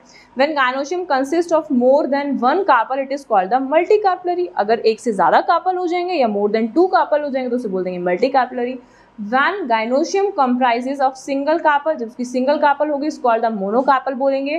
ठीक है एग्जैक्ट एग्ज़ाम्पल इसमें आ गया आपका pea beans next if there are the more than one carpel अगर वन कार्पल से ज़्यादा हैं एंड दे आर फ्यूज और जब वो फ्यूज हो जाएँगे दैन दे कॉल्ड तब उसको क्या बोलते हैं बेटा? देखो, एक second then they fuse a syncarpous ठीक है? जब एक से ज़्यादा कापस है तो उसको बोल देंगे यहाँ पे हमारा सिंग कार्पस क्लियर तो उसमें बोल देंगे mustard and lemon and lily इसका एग्ज़ाम्पल देखो, जैसे हम ये इस तरीके से कापल थी हमारी, इसको पूरे को हम क्या बोल रहे थे? कार्पल और क्या बोल रहे हैं इसको? ये कैसी है? ये फ्यूज कंडीशन पे है। आपस में जुड़ी हुई है। तो इसको बोलेंगे सिन कार्पस कहीं पे आप देखोगे जब कार्पल होंगी, लेकिन वो आपस में कार्पल कैसी होंगी? मोर देन टू तो होंगी बट लेकिन लेकिन कैसे होंगी बेटा आपकी? सेपरेटेड होंगी अलग अलग तो उस कंडीशन बोलेंगे यहाँ पे एपो कार्पस अभी पढ़ेंगे इसमें हम, ठीक है? तो सिन कार्पस में एग्ज़ाम्पल आ गया आपका मस्टर्ड लेमन एंड लिली ये भी इंपॉर्टेंट पॉइंट से आपका पूछ सकता है कि जब मोर देन वन कार्पल आपस में फ्यूज होंगे इस कॉल सिन कार्पस ठीक है? मोर देन वन कार्पस होंगे बट विदाउट फ्यूजन होगा तो उसको बोलेंगे एपो कार्पस ठीक है? इसमें देखिए एग्ज़ाम्पल सिन का आपस में मस्टर्ड आ गया लेमन एंड लिली ठीक है? देखो, अब इसमें हम यहाँ पे इसमें अगर इसका वो देखते हैं एग्ज़ाम्पल और वैसे भी आपको ये पिक तो दिखी रही होगी पिक आपकी सारी एन वाली है, ठीक है?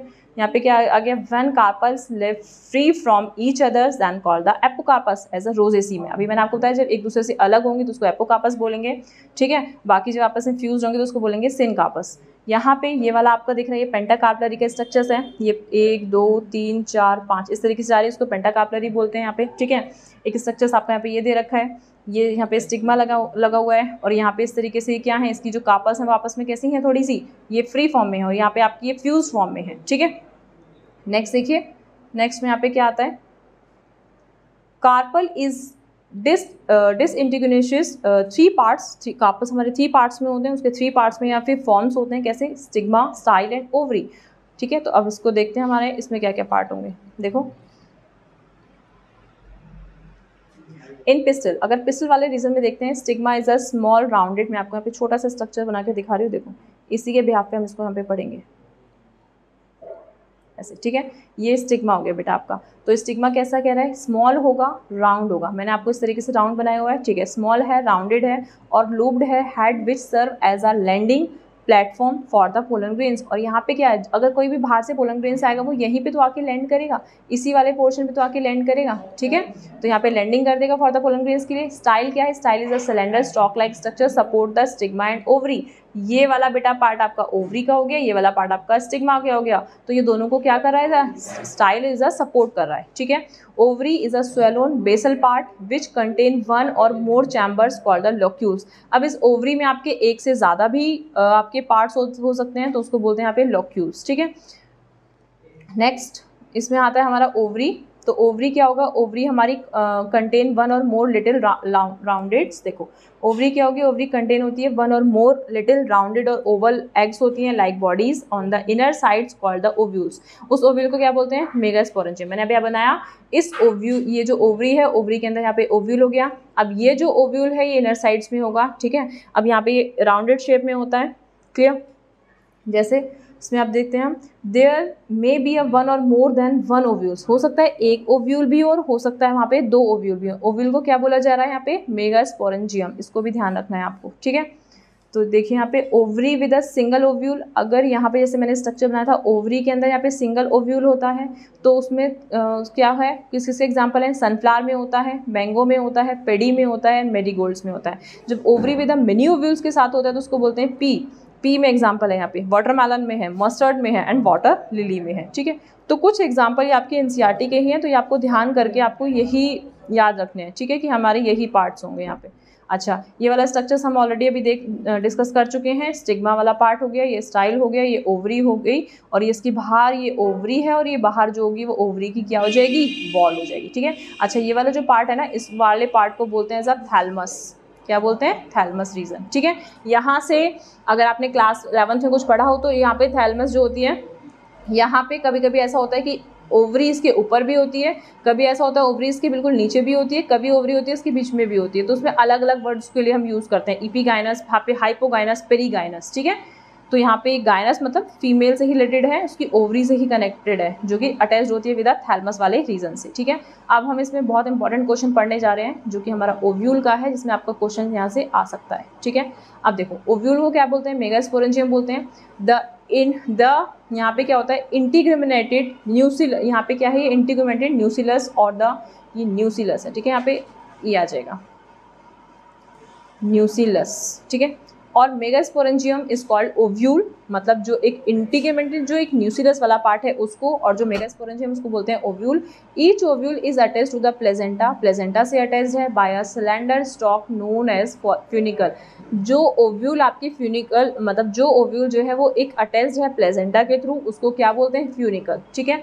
नेक्स्ट नेक्स्ट क्या आता है? Point of attachments of the body of the ovule मतलब अब बॉडी से जो अटैच्ड है पॉइंट उसको बोलते हैं विद अ फ्यूनिकल के साथ, उसको बोलते हैं हाइलम बच्चे इसमें बहुत ज़्यादा कन्फ्यूज़न कन्फ्यूज़ अपना क्रिएट करते हैं माइंड में कि फ्यूनिकल बॉडी के साथ अटैच होता है या हाइलम बॉडी के साथ अटैच होता है? तो आपको सिर्फ़ ये ध्यान रखना है कि यहाँ पे जो ओव्यूल जो होगा जब वो अटैच होगा एज अ प्लेजेंटा के साथ और एक पूरा एक स्टॉक लाइक स्ट्रक्चर्स बना देगा उसको बोलते हैं फिनिकल और जब वो जो अटैचमेंट्स वाला पॉइंट है जो बॉडी से जो अटैच हो रहा है ओव्यूल का उस वाले वो फ्यूनिकल के साथ अटैच हो रहा है उस वाले पॉइंट को बोलते हैं हाइलम अभी हम इसके स्ट्रक्चर्स को भी समझेंगे ठीक है?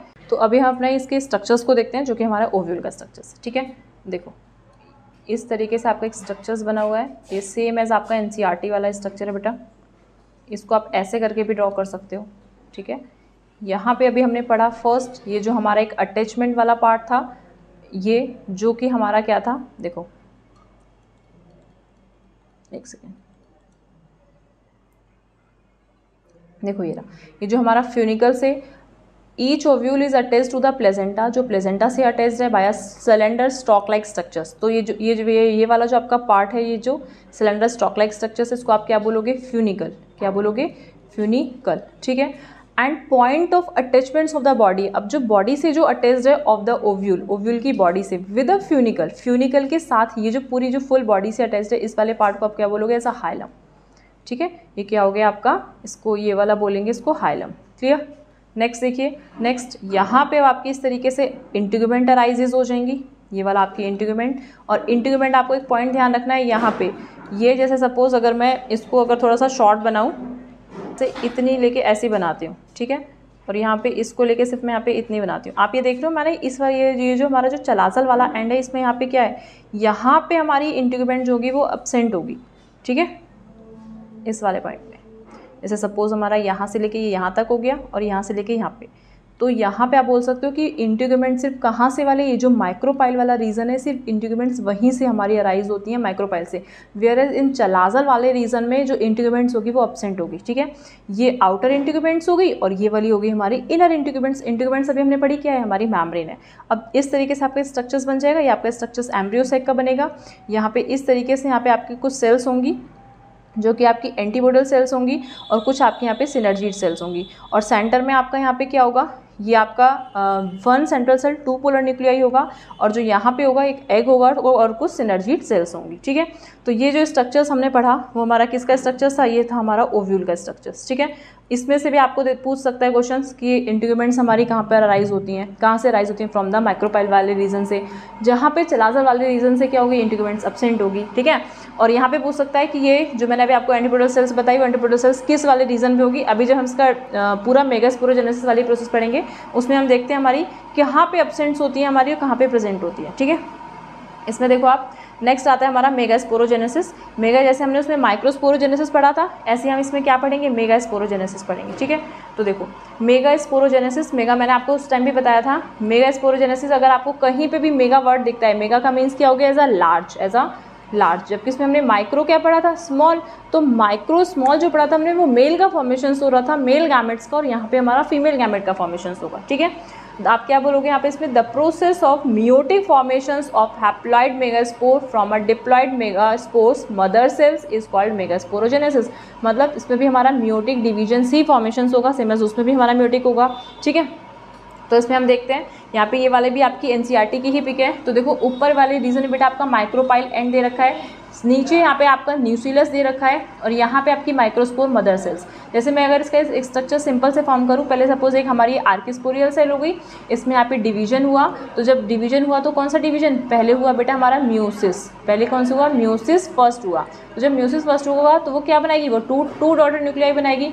तो आप देख रहे हो यहाँ पे माइक्रोपाइल एंड्स न्यूसिलर और अभी यहाँ पे माइक्रोस्पोर जो है वो डाइड हो गए। मतलब यहाँ पे इस तरीके से ये दो बन गए, ठीक है? अब आप क्या देखोगे यहाँ पे कि म्योसिस डिवीज़न होगा तो म्योसिस कौन सा डिवीज़न होगा? ऐसा सेकेंड म्योसिस सेकेंड डिवीज़न होगा। अब जब सेकेंड होगा तो वो क्या करेगा? वो एक से कितनी बनाएगा यहाँ पे? इस तरीके से एक, दो, तीन और चार। इस तरीके से चार बन गई। जैसे कि आपको यहाँ पे दिख रहा है मेगा स्पोर्ट टेट्रेट ठीक है? और यहाँ पे माइक्रोपाइलैंड हो गया। तो आपको दिख रहा है ये one two three and four तो ये म्यूसिस सेकेंड से हुआ है। या इस वाले डायग्राम में आपकी डिवीज़न नहीं है बट मैंने आपको यहाँ पे बता दिया। यहाँ पे म्यूसिस फ़र्स्ट हुआ देन यहाँ पे म्यूसिस सेकेंड हुआ। अब वन मार्क्स के लिए क्वेश्चन ये भी आता है कि देखो जैसे इसमें आपका नीचे भी दे रखा है यहाँ पे मोनोस्पोरिक डेवलपमेंट क्या आता है यहाँ पे हमारा? मोनोस्पोरिक डेवलपमेंट देखो तो मोनोस्पोरिक डेवलपमेंट का मतलब यहाँ पे क्या होता है ये? Monosporic development embryo sac develop from a single megaspore. जो सिंगल मेगास्पोर से जो डेवलपमेंट होता है is called mega monosporic development. मतलब ये हमारा पूरा एक एम्ब्रियो सेक हो गया। इससे हमारी केवल एक, ये जो हमारी सिंगल है, एक सिंगल मेगास्पोर, ये हमारी क्या बनेगी? ये सिर्फ़ सिंगल मेगास्पोर बनेगी। ठीक है? Single megaspore. ये सिंगल मेगा स्पोर बन गए, जो जो जो हमारी सिंगल मेगा स्पोर बनेगी, बाकी की हमारी थ्री क्या हो जाएँगी बेटा? तीन हमारी क्या हो जाएँगी? डी जनरेट हो जाएँगी। क्या हो जाएँगी? थ्री जो होंगी वो हमारी डी जनरेट फॉर्म में हो जाएँगी। क्लियर तो इसी को बोलते हैं मोनोस्पोरिक डेवलपमेंट यहाँ पे इसमें अब कुछ क्वेश्चन दे रखे हैं। तो उस उन क्वेश्चन को अभी हम बाद में सॉल्व करेंगे, ठीक है? अभी हम यहाँ पे देखते हैं हमारा, इसमें आगे और क्या आता है। देखो। अब यहाँ पे हमारा, जो अभी मैंने आपको स्ट्रक्चर्स बताया था, उसी में एंटीपोडल सेल्स होंगी थ्री चलाजल सेल्स होती हैं एम्ब्रियोसेक में सेंट्रल सेल सेंटर में आपके प्रेजेंट्स होता है it is a largest cell होता है it is a highly vacuolated cytoplasm होगा which is rich in reserve foods होते हैं उसमें कंटेनर पोलर न्यूक्लियाई होती है which have a large and fuse to form a single diploid secondary nucleus form करता है, ठीक है? अभी मैं आपको बताती हूँ, यहाँ पे जो इसने बोला ना डिप्लॉइड सेकेंडरी न्यूक्लियस कैसे फॉर्म करता है, उसको मैं अभी आपको क्लियर करूँगी। इसके स्ट्रक्चर्स को पहले समझ लेते हैं, देखो, थोड़ा सा। यहाँ पे ये वाला आपको स्ट्रक्चर दिख रहा है। आपको ये ये सारा डायग्राम आपका एनसीईआरटी वाला है, ठीक है? अभी हमने यहाँ पे मोनोस्पोरिक डेवलपमेंट पढ़ा, इसमें हमने पढ़ा, ये वाली जो थ्री थी, वो हमारी क्या हो गई थी बेटा? डी जनरेट हो गई थी। सपोज़ इसमें हमें हमारी ये वाली है। तो यही अब इसमें क्या होगा? डिवीज़न होगा। जैसे अब ये जो एक सेल है, यहाँ पे ये एक सेल इस एक ने यहाँ पे दो सेल बनाई, दो ने यहाँ पे चार बनाई।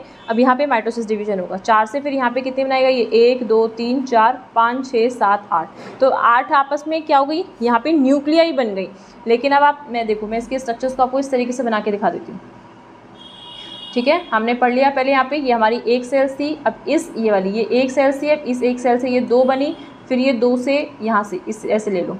इस दो से फिर कैसी बनी? ये चार बनी, फिर इस चार से ये, फिर इस तरीके से आठ बने। तो मैं इसको अरेंज कर देती हूँ आपके इस एम्ब्रियो सेक जैसे आपका ये वाला जो स्ट्रक्चर है। यहाँ पे आप देखोगे ये थ्री सेल्स आपकी ऐसे अरेंज हो गई बेटा, और आपके यहाँ पे टू सेल्स आपकी ऐसे अरेंज हो गई, और थ्री सेल्स आपके यहाँ पे ऐसे अरेंज हो गए अब देखो इसमें एक दो, तीन, चार, पाँच छः ये तो आपके ऐसे सेल सेल्स हो गई। उसके बाद सात, आठ। आप इसको क्या बोलोगे? न्यूक्लियाई तो एट हो गई, लेकिन ये सेवन सेल है। ठीक है? सेवन सेल और एट न्यूक्लियाई तो एंटीबोडल सेल्स अभी आप मेरी बात ध्यान रखना। यहाँ पे हम एक, मैं आपको वर्ड बता रही हूँ, जहाँ पे आपकी एंटीबोडल सेल्स होंगी, और एंटीबोडल सेल्स किस एंड पर होंगे? एज अ चलाजा एंड पर। कैसे चलाजा लैंड पर और जो माइक्रोपाइल जो सेल्स होंगी, वो आपकी बेटा सिनर्जीड्स पर होंगी, ठीक है? मतलब जो माइक्रोपाइल वाला एंड होगा, वहाँ पे क्या होगा हमारा? एक हमने चलाजा एंड पढ़ा, एक हमने माइक्रोपाइल एंड पढ़ा। तो माइक्रोपाइल एंड पे कौन सी सेल्स होंगी हमारी? सिनर्जीड सेल्स और जो चलाजल एंड होगा, उस पर हमारी क्या होंगी? एंटीपोडल सेल्स होंगी, ठीक है? इसमें हम देखते हैं। अब आपको अच्छा ध्यान कैसे रहेगा? ऐसे ध्यान रखना, जैसे एसी होता है ए सी ए सी का मतलब हो गया हमारी एंटीपोडल सेल्स और सी का मतलब हो गया चलाजल इसके बाद आप यहाँ पे ऐसे याद रख लेना। एक एस एम एस एम ठीक है? एस एम से हो गया हमारा यहाँ पे एस क्या हो गया? सिनर्जीड सेल्स हो गई और यहाँ पे हमारी माइक्रोपाइल वाला एंड्स हो गया, ऐसे करके, ठीक है?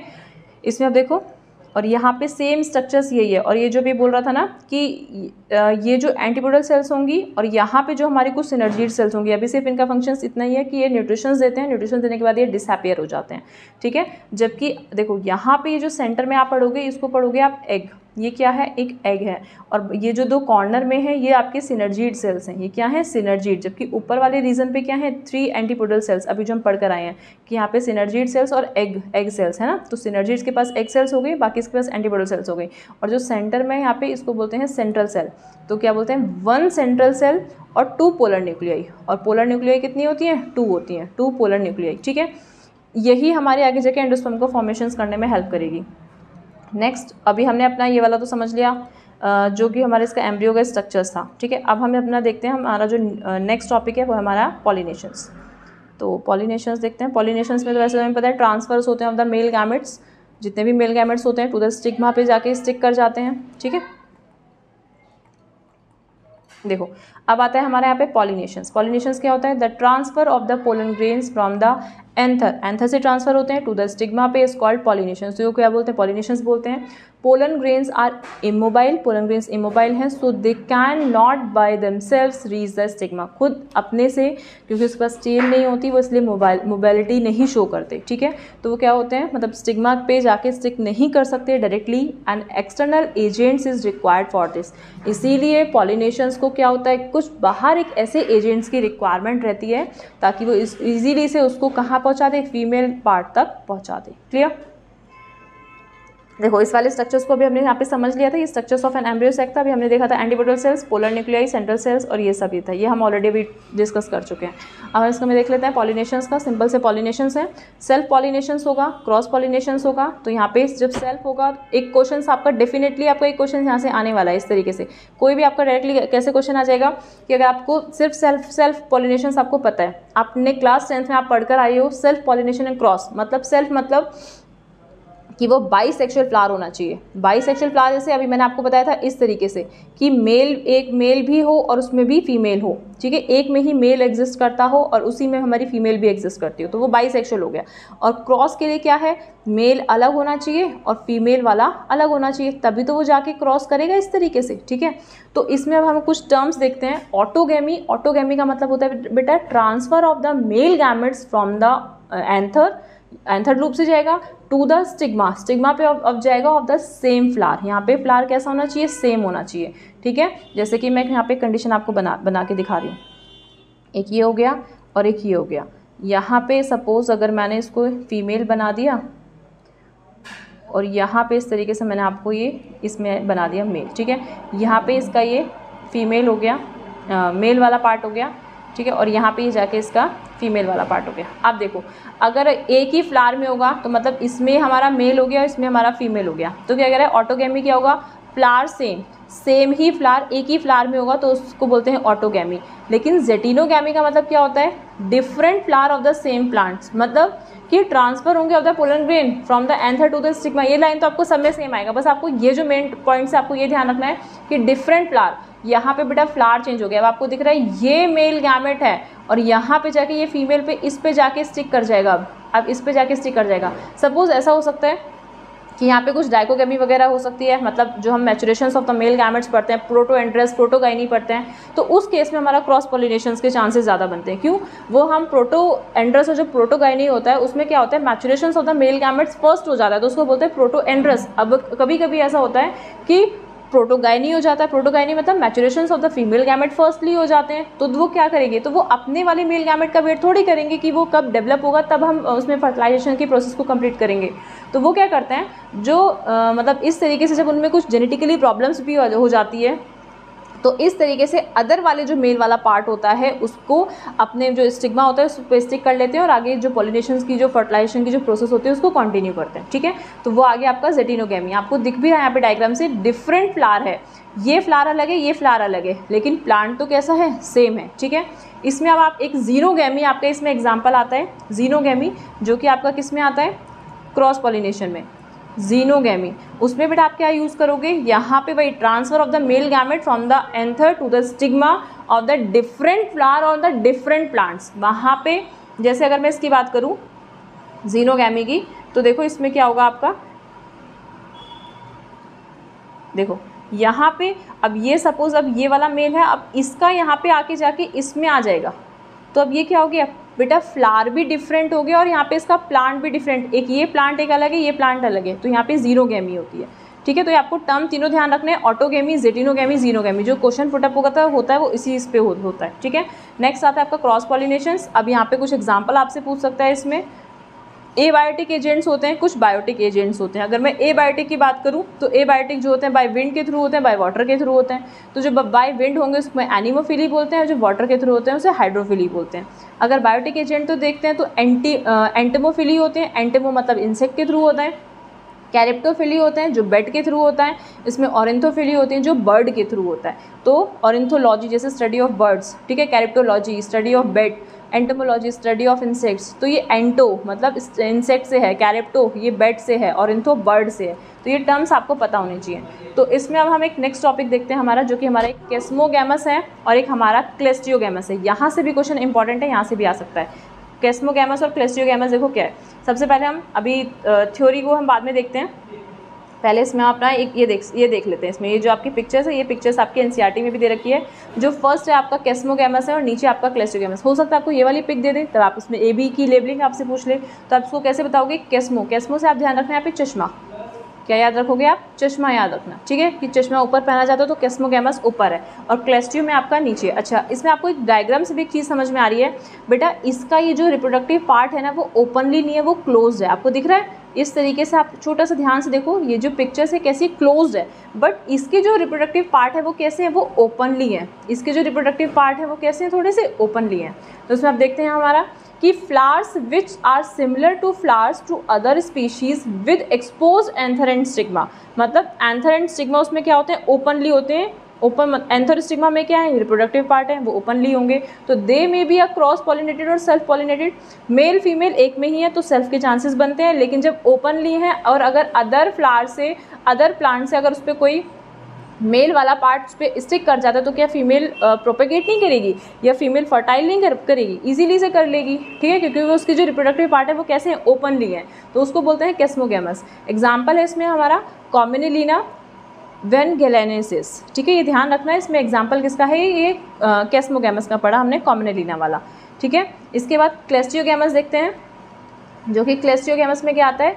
Flowers which do not open at all आप देख रहे हो उसके जो मेल फीमेल होंगे, इसमें यहाँ पे ओपन नहीं होंगे। जब ओपन नहीं होंगे तो उसमें यहाँ पे किसके चांसेस ज़्यादा बनते हैं? एज अ सेल्फ पॉलिनेशन के। In such flower the anther and stigma like close to each other when the anther dehiscence in the flowers birds pollen grains come in contact with stigma stigma के contact में आती है to effect the pollination यहाँ पे only क्या होगा बेटा? Self pollination अब आपसे पूछ सकता है कि किस्मोगैमस में सेल्फ और क्रॉस हो सकता है? तो यस आप उसमें ट्रू बताओगे. जबकि जो क्लस्ट्रियो में होगा, उसमें सिर्फ़, उसमें सेल्फ और क्रॉस दोनों हो सकता है? नो उसमें सिर्फ़ कैसा होगा? सिर्फ़ ओनली सेल्फ पॉलिनेशन इसका example Viola and Oxalis N e के एग्जाम्पल्स हैं, आपको याद करने पड़ेंगे। अब ये नहीं आप बोल सकते कि हम इसमें और कोई एग्ज़ाम्पल देखें। आपको इन एग्जाम्पल्स को आपको नहीं छोड़ना, ठीक है? तो ये वियोला हो गया और ऑक्जेलिस हो गया, इसको कॉमन पेंसी भी बोलते हैं। नेक्स्ट एक बात ही ध्यान रखना है, यहाँ पे कैस्मोगेमस फ्लावर आ जाएगा तो उसको अबव द ग्राउंड कैस्मो हमने पढ़ा, ऊपर था, जबकि जो क्लेस्टियोगेमस था, वो कैसा था? वो थोड़ा बिलो द मतलब अंडर द ग्राउंड था, ठीक है? कैसा था? बिलो द ग्राउंड या आप उसको बोल सकते हो अंडर द ग्राउंड ठीक है? अब नेक्स्ट हम इसमें हमारा देखते हैं कि इसमें जो पॉलिनेशन है, वो एक पॉलिनेशन बेटा आपका बर्ड पॉलिनेशन टाइप का भी होता है। एक हमने सेल्फ पढ़ा, एक हमने क्रॉस पढ़ा, एक थर्ड हम पढ़ते हैं बर्ड पॉलिनेशन बर्ड पॉलिनेशन का मतलब क्या होता है कि anther and the stigma of intersexuals और perfect flower ripen before the opening of the birds so that the self pollination take place मतलब जब एंथर स्टिग्मा जो होती है, जिसमें इंटरसेक्शल्स होता है या जो परफेक्ट एकदम फ्लावर्स फॉर्म हो जाते हैं उसमें राइपन होने से पहले ripen before the opening of the birds जो बर्ड्स की जो ओपनिंग है, उस टाइम पे जो फ्लावर्स होता है, वो क्या होता है? वो फुली राइपन हो जाता है so that's the self pollination तो उसमें अपना, अपने आप क्या हो जाता है? सेल्फ पॉलिनेशन टेक पार्ट करता है. एग्ज़ाम्पल पी वीट राइस ये तीन इसके एग्ज़ाम्पल हैं बर्ड पॉलिनेशन की, ठीक है? नेक्स्ट देखते हैं हमारे इसमें क्रॉस पॉलिनेशंस क्रॉस पॉलिनेशंस में अभी हमने तो इसके कुछ एजेंट्स देखे थे एज अ डायग्राम से, ठीक है? अब देखो। एक अभी हमने यहाँ पे एक डायग्राम से ये भी देख लिया था जेटिनोगैमी जेटिनोगैमी में क्या था? It's the pollination between the two flowers of the same plants same plants में हो रहा था, लेकिन टू फ्लावर्स से। फ्लावर्स आर जेनेटिकली सिमिलर से mostly maintain the parental characters अपने पेरेंटल कैरेक्टर्स को क्या कर रहा था? मेंटेन करके रख रहा था। ठीक है? नेक्स्ट देखिए एग्ज़ाम्पल मेज इसका आ, इसका एग्ज़ाम्पल क्या है? जेटिनोगैमी का एग्ज़ाम्पल मेज है। नेक्स्ट आता है जीनोगैमी जीनोगैमी मैं आपको भी ऑलरेडी बढ़ा चुकी हूँ कि उसमें फ्लावर भी डिफरेंट होगा और प्लांट भी डिफरेंट होगा। It is a pollination between the two flowers two flowers के बीच में होता है different plants flowers are genetically different flowers कैसे होंगे? जेनेटिकली डिफरेंट्स होंगे। Mostly undergo variations and mutations अब जब क्रॉस पॉलिनेशन होगा तो उसमें कुछ चेंजेस भी तो आएँगे हमारे। ठीक है? तो इसका एग्ज़ाम्पल हो जाएगा अनियन इसका एग्ज़ाम्पल क्या होगा? अनियन क्लियर अब देखते हैं हमारा एजेंट्स ऑफ़ पॉलिनेशंस अब पॉलिनेशंस के लिए अब कोई एजेंट तो चाहिए, जब उसमें क्रॉस पॉलिनेशंस होगा तो। एजेंट्स में क्या आ जाएगा? हमारा कुछ ए बायोटिक होते हैं और कुछ बायोटिक होते हैं। तो बेटा ए बायोटिक अभी हमने पढ़ा एक हाइड्रोफिली मतलब वाटर और एक हमने पढ़ा विंड बाय एनिमोफिली ठीक है? मतलब विंड होगा तो उसमें बाय उसे उसको क्या बोलेंगे? ऐसा एनिमोफिली बोलेंगे। एक हमारा क्या, यहाँ पे क्या हो गया? एक एनिमल के थ्रू हो गया। तो इसमें देखते हैं। इसमें क्या आएगा आपका देखो small proportions of the plants are use this methods इसमें बहुत से, बहुत कम मतलब मैथड्स ऐसा होता है, इसमें स्मॉल प्रपोर्शंस होता है जिसमें आपके वाटर और विंड जो होता है, उसकी प्रोसेस को कंप्लीट करता है। एक आता है आपका इसमें animal majority of the plants use this methods मतलब इस वाले मैथड्स को मेजोरिटी ऑफ़ द प्लांट्स क्या करते हैं? यूज़ करते हैं क्लियर नेक्स्ट देखिए नेक्स्ट में क्या आता है आपका? अभी हम इसमें एनिमोफिली देख लेते हैं। एनिमोफिली हो गया एनोमॉज मतलब विंड्स और फैलेंस मतलब फिलो मतलब फैलेंस ठीक है? टू लव मतलब वो विंड के थ्रू अपना पॉलिनेशन कर लेंगे। तो बाय पॉलिनेशन बाय विंड में क्या हो गया? It is a more common method से होता है। विंड के थ्रू आपसे यहाँ से भी क्वेश्चन पूछ सकता है। बाय वाटर ज़्यादा कॉमन मैथड है या बाय विंड है? तो आप उसमें बताओगे कॉमन मैथड कौन सा है इसमें? हमारा wind wind pollination also require that the pollen grains light अब इसके कुछ कैरेक्टरिस्टिक हैं कि जो विंड पॉलिनेशन होगा तो उसके लिए पोलन ग्रेन्स कैसा होना चाहिए? लाइट होना चाहिए। अगर वो हैवी हुआ तो बाय वो विंड के थ्रू मूव ही नहीं कर पाएगा one place to another place में तो कैसा होना चाहिए? लाइट होना चाहिए। नॉन स्टिकी मतलब ऐसा नहीं हो कि कहीं पे भी जाके वो चिपक जाए। अगर नॉन स्टिकी होगा तो वो मूव ईजिली से one place to another place में मूव कर जाएगा। ठीक है? कहीं पे बीच बीच में जाके स्टिक नहीं करेगा। विच ईजिली ट्रांसपोर्टेड जो इजीली से ट्रांसपोर्ट हो जाएगा। And large feathery stigma, important points है, यहाँ से पूछ लेते हैं कि फेदरी स्टिग्मा जो होगा, उसमें वाटर पॉलिनेशन के थ्रू होगा या विंड पॉलिनेशन के थ्रू होगा तो आपको बताना है बाय विंड के थ्रू, ठीक है? To easily trap the air जो कि इजीली क्या कर सकती है? एयर को ट्रैप कर सकती है and bond the pollen grains इसमें एग्ज़ाम्पल आ जाएगा बेटा कोकोनट पाम मेज एंड आपका ग्रासेस ठीक है? ये हमने किसमें एग्ज़ाम्पल पढ़े? ये हमने पॉलिनेशन पढ़ा बाय विंड के थ्रू। नेक्स्ट देखिए नेक्स्ट यहाँ पे क्या आता है हमारा? एक हाइड्रोफिली जो कि पॉलिनेशन किसके थ्रू होगा? बाय वाटर के थ्रू होगा, ठीक है? तो इसमें हम हाइड्रोफिली देखते हैं। हाइड्रो मतलब वाटर और फिली मतलब टू लव हो गया। अब पॉलिनेशंस बाय वाटर तो pollinations by water is quite rare बहुत ही रेयर होता है इसमें। फ्लावरिंग प्लांट्स मोस्टली मोनोकॉटिडॉन किसमें होता है? जो पॉलिनेशन जो होता है, अगर आपसे पूछ ले कि पॉलिनेशन बाय वाटर जो होगा, वो इन किसमें होगा? आप तो आप बताओगे बाय इन मोनोकॉटिडॉन्स में होगा, ठीक है? अब एग्ज़ाम्पल वेलिसनेरिया में होगा हाइड्रोला में होगा which grown in a fresh water जो कि फ्रेश वाटर में ग्रोन करती हैं, और जो मेराइन सी ग्रासेज होती हैं एज अ जॉयस्टर्स वो इसमें भी हमारी मेराइन सी ग्रासेज हो गए एज अ जॉयस्टर तो इनमें कैसे होगा? पॉलिनेशन बाय वाटर के थ्रू होगा. नॉट ऑल एक्वेटिक प्लांट्स सारे एक्वेटिक प्लांट्स में नहीं होता. Use water for the pollination के लिए. सारे एक्वेटिक प्लांट्स आपका वाटर पॉलिनेशन को नहीं फॉर्म करते. ऐसा नहीं है कि सारे एक्वेटिक प्लांट्स हैं तो उसमें सिर्फ़ वाटर पॉलिनेशन ही होगा.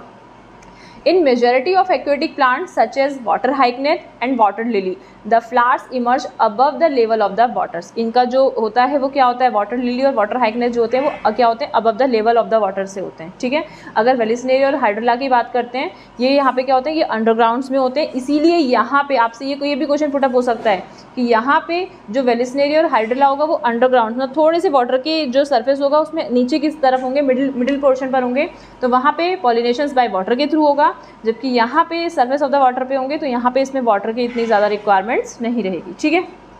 नेक्स्ट नेक्स्ट आता है हमारा कुछ बायोटिक एजेंट्स बायोटिक एजेंट्स देखते हैं। बायोटिक एजेंट्स क्या है? देखो majority of the flowering plants use of animals as pollinating मतलब मेजोरिटी ऑफ़ फ्लावरिंग प्लांट्स होते हैं एनिमल्स और को इसमें क्या करते हैं? पॉलिनेटिंग के लिए यूज़ करते हैं। जैसे बीज होती हैं बटरफ्लाइज अभी हमने पढ़ा यहाँ पे। जैसे कुछ बेट बीटल्स पढ़ी वास पढ़ी बर्ड्स और मॉस, ये सब हमारे से हमने कैप्टो कैरेप्टो फिली पढ़ा था। एक हमने यहाँ पे क्या पढ़ा था? ऑरेंथोफिली पढ़ा था। ठीक है, जो बर्ड्स का था, कैप्टोफिली बेड का था तो वो सब हमारे इसमें आ गया। अमंग द एनिमल इंसेक्ट्स एक हमने एंटीमोफिली पढ़ा था, बीज एंड डोमिनेट ये भी इंपॉर्टेंट पॉइंट है, ये भी आपको ध्यान रखना है। इसमें सबसे ज़्यादा जो डोमिनेंट है डोमिनेंट मतलब जो सबसे ज़्यादा फॉर्म होता है पॉलिनेशन कॉज करने के लिए तो वो एजेंट्स कौन से होते हैं? इंसेक्ट और बीज। ठीक है? नेक्स्ट इसमें आता है, बेटा आपका majority of the insects pollinated flowers large colourful fragments and rich in nectar यहाँ पे नेक्टर आएगा इसमें, ठीक है? तो इसमें क्या होगा, जो मेजोरिटी ऑफ़ इंसेक्ट जो सारे जो आपके इंसेक्ट्स होंगे ना, वो क्या होंगे, वो लार्ज कलरफुल फ्रेगनेंट आएगी उसमें फ्रेगनेंट्स मतलब उसमें फ्रेगनेंस बहुत अच्छी आएगी। तभी तो कोई भी, कोई इंसेक्ट होगा, तभी तो वो उस पर जाके स्टिक कर पाएगा। अगर वो नेक्टर लेस है, या फिर उसमें कोई फ्रेगनेंस नहीं आ रही तो उसमें कैसे स्टिक कर पाएगा? उसमें स्टिक ही नहीं हो पाएगा, ठीक है? नेक्स्ट आता है इसमें animal gets a coating of a pollen grains animals के पास कुछ कोटिंग होती है पोलन ग्रेन्स की which are the generally stick वो इसलिए क्या कर जाते हैं, उस पर स्टिक कर लेते हैं। इन सम स्पीशीज़ कुछ स्पीशीज़ में floral rewards are in are providing safe places कुछ सेफ़ प्लेसेस देते हैं और एग को लेइंग कर लेते हैं। जैसे एग्जांपल देखते हैं इसमें एमोरफेलस ये बहुत इंपॉर्टेंट है, ये वाला भी आपका पूछ सकते हैं यहाँ पे क्वेश्चन कि एमोरफेलस जो होती है, वो क्या होता है? हाइएस्ट सबसे टॉलेस्ट फ्लावर होता है, जिसकी हाइट कितनी होती है? सिक्स फीट होती है, ठीक है? तो सिक्स फीट किसकी हाइट होती है? तो ये आपको इसमें देखना है एमोरफेलस उसका नाम होता है, ठीक है? Next a similar relationship exist between a species of moth and plant yucca ये वाला भी इंपॉर्टेंट पॉइंट है कि अगर आपसे पूछता है कि यहाँ पे एक सिम बायो सिम बायोटिक एक नेचर शो करता है, एक म्यूटेशंस म्यूटेशंस में आप यहाँ पे उसको बोल सकते हैं म्यूटलिज्म म्यूटेशन तो कुछ चेंजेस वो हम जेनेटिक्स में पढ़ते हैं। यहाँ पे आता है आपका म्यूटलिज्म म्यूटलिज्म में भी क्या आता है जो कि जिसमें यहाँ पे हमारा दोनों को बेनिफिट होता है। दोनों को ही क्या होगा? बेनिफिट होगा। मतलब एक स्पीशीज़ है, दूसरी स्पीशीज़ है। दोनों आप ये नहीं बोल सकते किसी को भी किसी से हार्म है। जैसे अगर प्लांट यूका की बात करते हैं और स्पीशीज मॉथ की बात करते हैं। Moth deposit its egg in the locules of the ovary and the flower in the turns get the pollinated by moth मतलब जैसे सपोज़ ये प्लांट्स हो गया प्लांट हो गया यूका वाला, यहाँ पे आके इसकी सपोज़ ये रूट्स हो गई तो इसकी रूट्स में यहाँ पे आके इसने अपना ये ये क्या लग गया? यहाँ पे मौत हो गया। ये हो गया मौत ठीक है? और ये जो हो गया, ये हो गया यूका। तो यूका, देखो, यहाँ इसको तो मिल गया, अपनी एग के लिए शेल्टर मिल गई और इस मौत को अपनी एग के लिए शेल्टर मिल गई। और यूका को क्या हुआ? यूका ने उसको क्या कर दिया? उसको मतलब इसने यहाँ पे इसको आके पॉलिनेट कर दिया। तो अब मतलब यूका का भी बेनिफिट हो गया, उसको पॉलिनेशन मिल गया और मौत का भी बेनिफिट हो गया, उसको क्या मिल गई? शेल्टर मिल गई। ठीक है? नेक्स्ट देखिए। नेक्स्ट ये आपका न्यू टॉपिक आता है। इसमें अभी आपका सारा ये फिनिश हो गया पॉलिनेशन वाला पार्ट नेक्स्ट आता है आपका इसमें outbreeding device outbreeding device का मतलब क्या होता है? आउट ब्रीडिंग डिवाइस एक ऐसी टेक्निक होती है जिसमें हम यहाँ पे क्रॉस पॉलिनेशन को इन्हेंस करते हैं और सेल्फ को हम रिड्यूस करते हैं, ठीक है? आप बोल सकते हो यहाँ पे कि flowering plants have developed many devices to discourage the self pollination बहुत सारी कुछ ऐसी डिवाइसेस होती हैं जो जो सेल्फ पॉलिनेशन को रिड्यूस करती हैं या डिक्लाइन करती हैं। ये डिस्करेज करती हैं and to encourage the cross pollination और क्रॉस पॉलिनेशन को इनकरेज करती हैं। ऐसा क्यों? क्योंकि बेटा देखो, अगर सेल्फ पॉलिनेशन अगर होता रहेगा तो उसमें आपको, उसमें कुछ चेंजेस आपको देखने के लिए नहीं मिलेंगे, ठीक है?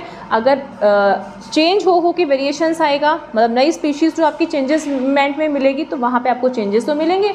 क्योंकि जब क्रॉस पॉलिनेशन होगा तो एक स्पीशीज़ के कुछ कैरेक्टर्स हैं, दूसरी स्पीशीज़ के कुछ कैरेक्टर्स हैं तो मिक्स होके आएँगे। सेम अगर वही की वही चल रही है तो हो सकता है डिसीज़ भी तो ट्रांसफ़र हो रही है। अब नेक्स्ट जनरेशन में अगर आप ये भी पढ़ते हो, कुछ अपने जेनेटिक्स भी अगर थोड़ा सा पढ़ाओ तो आपने ये देखा होगा कि जब वन जनरेशन और नेक्स्ट जनरेशन हो सकता है वन जनरेशन ही वन स्पीशीज़ ही बेटा आपकी डिसीज़ वाली हो मे बी आपकी जो सेकेंड स्पीशीज़ है वो डिसीज़ वाली ना हो तो हो सकता है जो नई प्रोजेनी है तो उसमें आपके 50 परसेंट चांस बनते हैं मतलब विदाउट डिसीज़ के, और 50 परसेंट चांस बनते हैं डिसीज़ कॉज होने के। तो एक ये क्या प्लस पॉइंट हो गया ना तो इसी तरीके से प्लांट्स में भी होता है और एनिमल में भी, ठीक है? तो इंकरेज करना क्रॉस पॉलिनेशन को डिस्करेज करना सेल्फ पॉलिनेशन को। मेनी कंडीशन आर नेसेसरी बहुत सारी कंडीशन होती हैं जो इंश्योर करती हैं क्रॉस पॉलिनेशन को। कौन कौन सी कंडीशन है? देखिए first unisexuality flowers are unisexual so that the self pollination is not possible अभी हमने यहाँ पे पढ़ा था, मैंने आपको बताया था एक डीयू से बताया था मैंने, डाइशियस, और एक मैंने आपको बताया था एम से मोनोइशियस। अगर यूनिसेक्सुअलिटी फ्लार अलग फ्लार जो होगा, वो या प्लांट जो होगा, वो हमारा अगर अलग अलग होगा, जैसे ये मेल हो गया, ये फीमेल, ये दोनों अलग अलग होंगे तो चांसेस कहाँ है यहाँ पे कि ये सेल्फ पॉलिनेशन कर पाए? नेचुरल सी बात है, इसमें कौन सा पॉलिनेशन होगा? Cross pollination as a papaya, ठीक है? नेक्स्ट डाइकोगेमी डाइकोगेमी देखते हैं. Anther and the stigma at the mature at the different times अभी मैंने आपको बताया था प्रोटो एंड्री प्रोटोगाइनी जो था मैच्योर हो रहे थे डिफरेंट टाइम्स में बाइसेक्सुअल फ्लावर में so that the prevent self pollination वो इनहेंस ही किसको कर देंगे? क्रॉस पॉलिनेशन को. क्योंकि जो अगर प्रोटो एंड्री जैसे यहाँ पे प्रोटो एंड्री है प्रोटो का मतलब प्रोटोज मतलब फ़र्स्ट और एंड्रोज मतलब मेल। तो यहाँ इसमें एग्ज़ाम्पल हो जाएगा सनफ्लावर जैसे अगर सपोज़ मेल फ्लावर है और फीमेल फ्लावर है मेल का फॉर्मेशन पहले हो जाता है तो वो फीमेल का वेट नहीं करेगा कि अभी फीमेल मैच्योरेशन मतलब मैच्योर नहीं हुई। तो मैं पहले अपनी फीमेल वाला फीमेल का वेट करूँगा। तो वो क्या करेगा? वो दूसरे वाले जो फीमेल फ्लावर होगी द सनफ्लावर की, वो उस पर जाके स्टिक कर जाएगा। तो वहाँ पे वो कौन सा हो जाएगा, वो क्रॉस पॉलिनेशन हो जाएगा, ठीक है? प्रोटोगाइनी प्रोटोगाइनी में क्या आता है? फीमेल फर्स्टली मैच्योर कर जाती है। फ़र्स्ट प्रोटो मतलब फ़र्स्ट और गायनी मतलब फीमेल यहाँ पे फीमेल फर्स्टली मैच्योर हो जाएगी।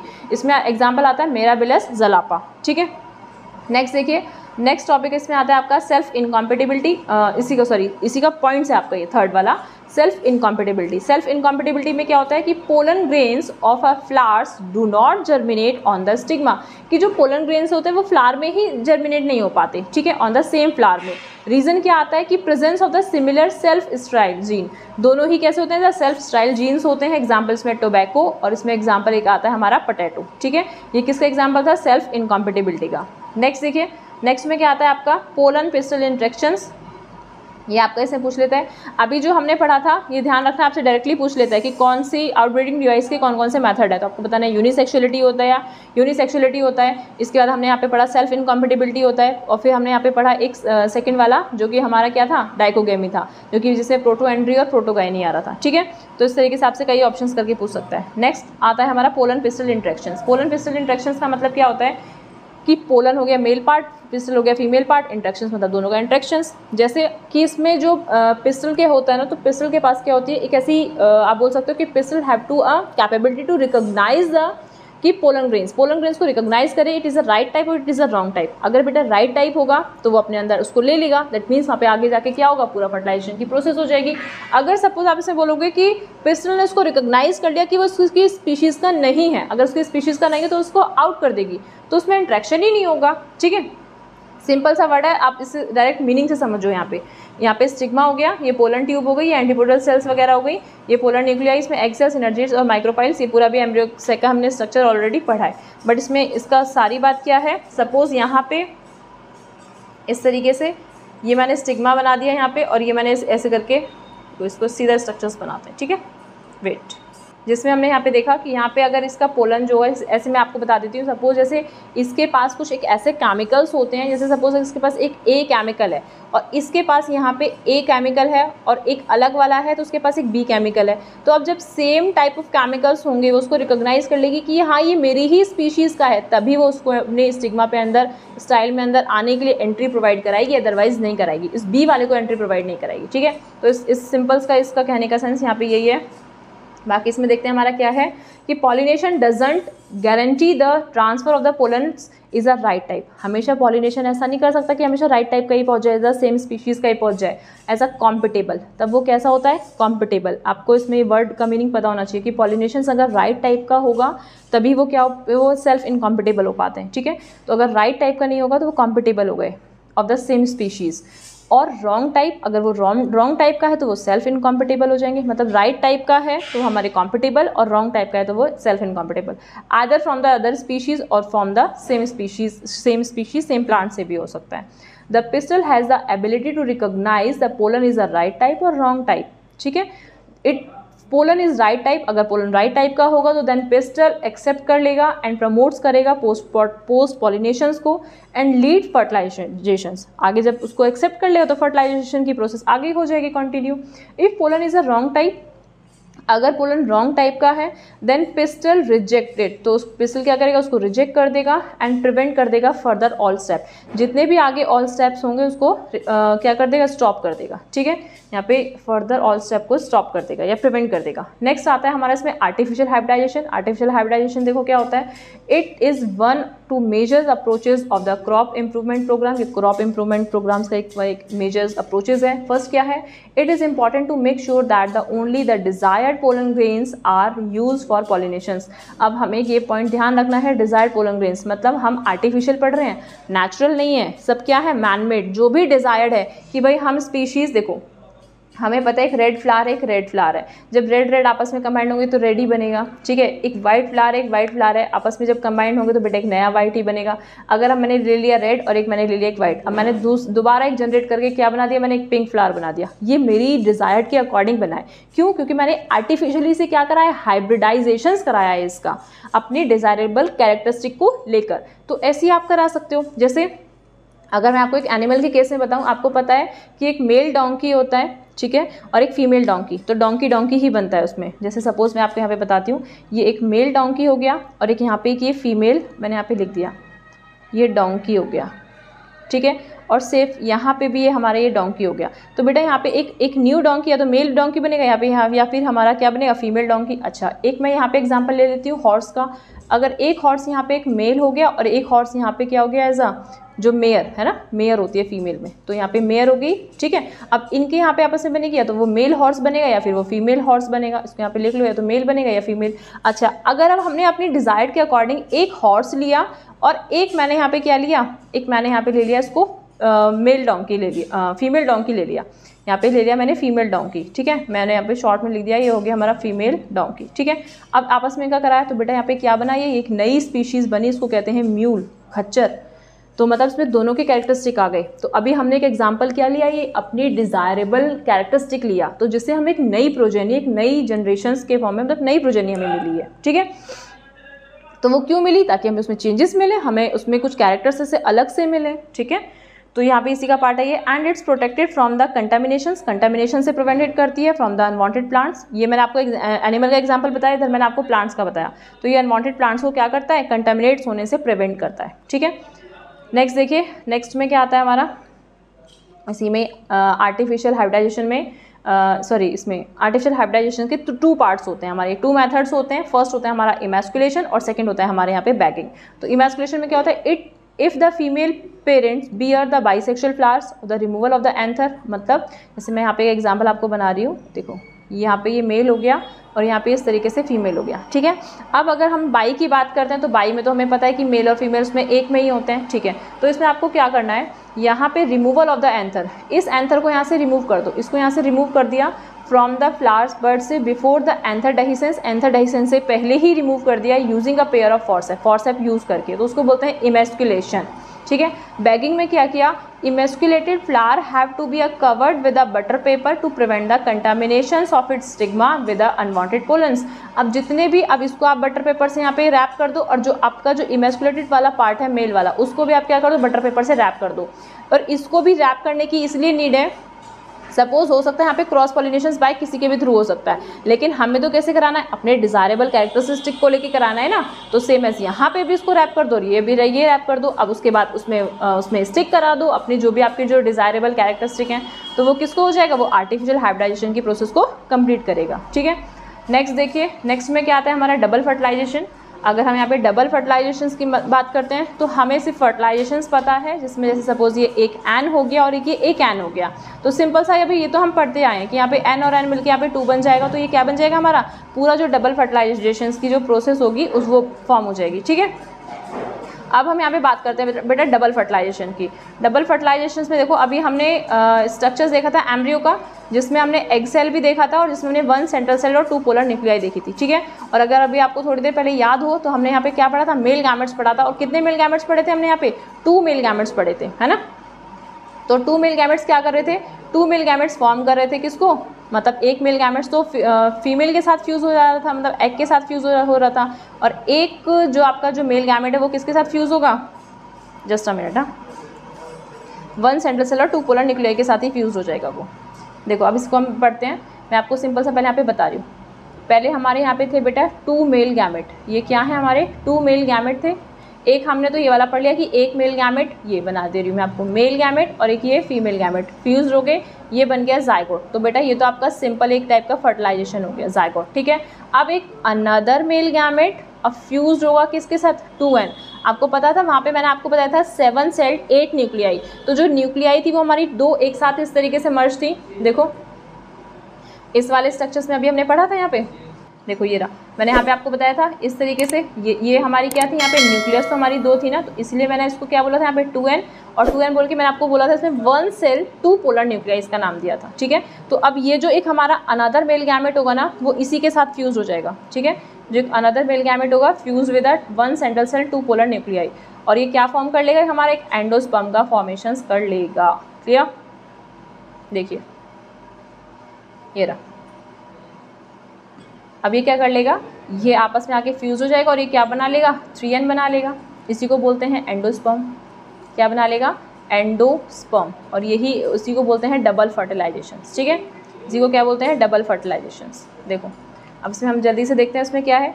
The pollen tube release the two male gametes pollen tube दो मेल गैमेट को रिलीज़ किया पोलन ग्रेन ने इन द साइटोप्लाज्म में। The male gametes move towards the egg cell male gametes egg cell की तरफ़ move कर गया and fuse with its nucleus उसके न्यूक्लियस के साथ मूव कर गया।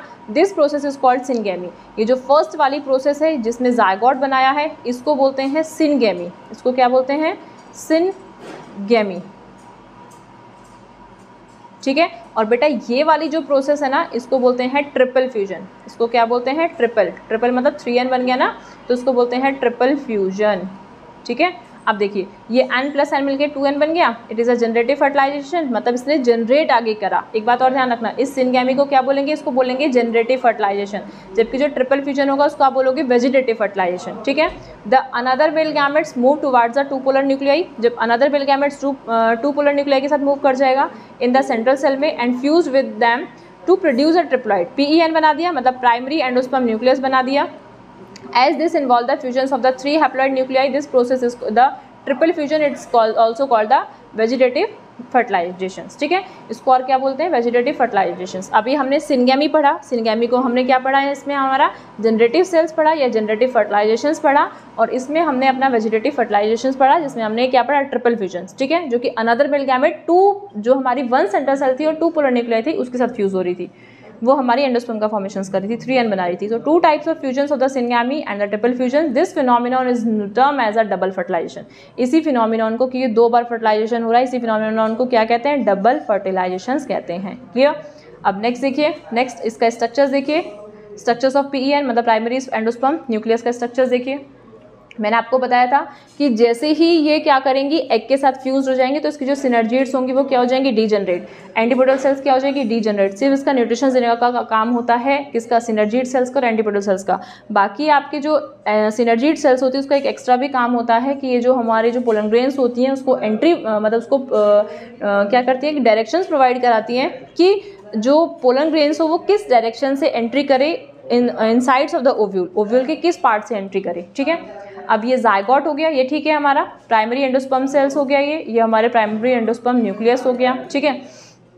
नेक्स्ट देखिए क्या आता है? The central cell after the triple fusion triple fusion के जो सेंट्रल सेल्स उसके बाद become the primary endosperm cells and the develops हो जाती है इनटू द एंडोस्पम्स में while the zygote develops into the embryo ये बहुत इंपॉर्टेंट इसको आपको ध्यान रखना है कि जो हमारी प्राइमरी एंडोस्पम्स जो सेल्स है, वो किसमें डेवलप हो रही है? एंडोस्पम्स में. और जो जाइगोट है, वो आगे जाके क्या बनाएगा? एम्ब्रियो ठीक है? और वो जो एम्ब्रियो है एंडोस्पम क्या करेगा? उस एम्ब्रियो को न्यूट्रिशन प्रोवाइड कराएगा. ठीक है? अब हम इसमें हमारी देखते हैं कुछ stages stages in embryo development embryo development में क्या क्या स्टेजेस होती हैं। जैसे कि यहाँ पे आपको उसमें कुछ जायगोट वगैरह दिख रहा होगा, ठीक है? तो अभी हम इसमें आगे पढ़ेंगे कि कैसे कैसे होगा। तो इसमें हम कुछ पॉइंट्स देखते हैं। देखो, सबसे पहले the zygote gives rise to the pro embryo and later globular hearts shapes and mature embryo जैसे कि अभी आपको उसमें दिख ये जायगोट्स है। पहले एक है, एक से दो बना। फिर यहाँ पे दो से इस तरीके से कुछ हॉस्टोरियल सेल्स बनेंगे जो कि अबव होंगी। बाकी ये नीचे आपकी कुछ, यहाँ पे कुछ ये सेल्स बनेंगे, जो कि सस्पेंसर सेल्स होती हैं, ठीक है?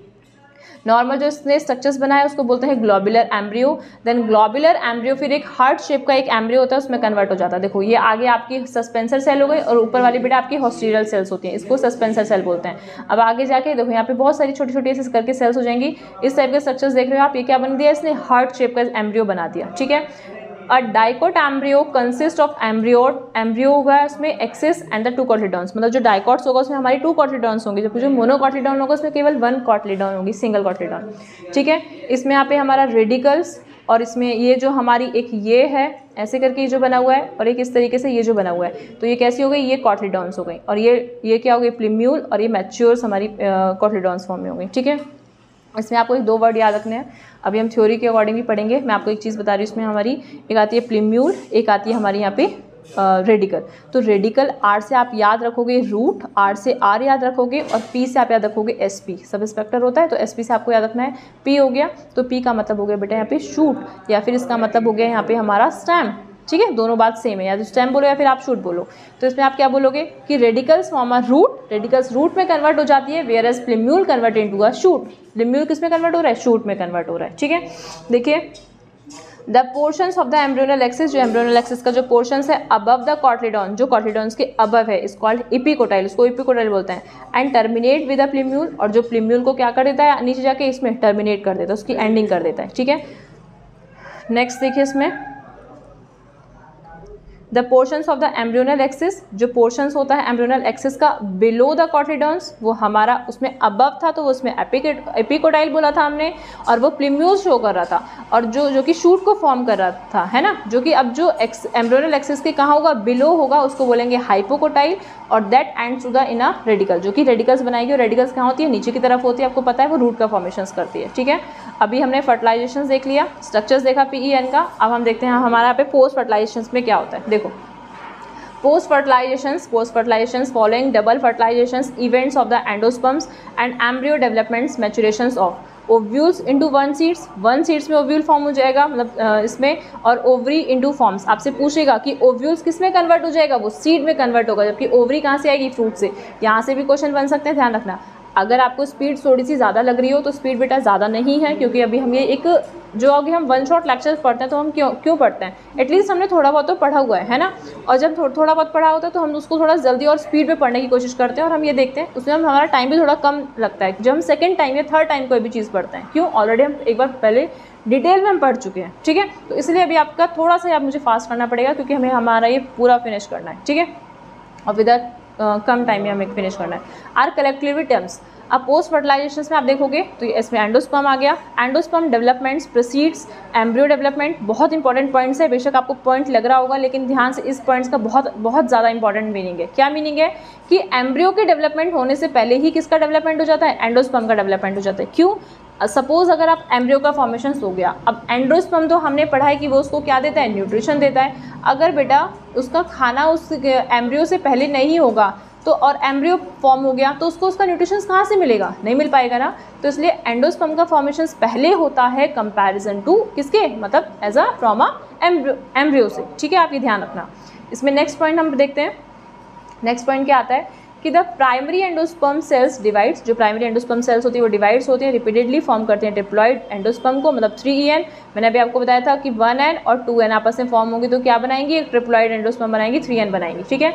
This tissue are filled with the reserve food material यहाँ पे रिज़र्व फ़ूड मटीरियल होता है एंड यूज़ करते हैं for the nutrition to the developing embryo the most common type of the endosperm जो मोस्ट कॉमन टाइप होता है endosperm का पी एन अंडरगो जाता है सक्सेसिव न्यूक्लियर डिविजन में।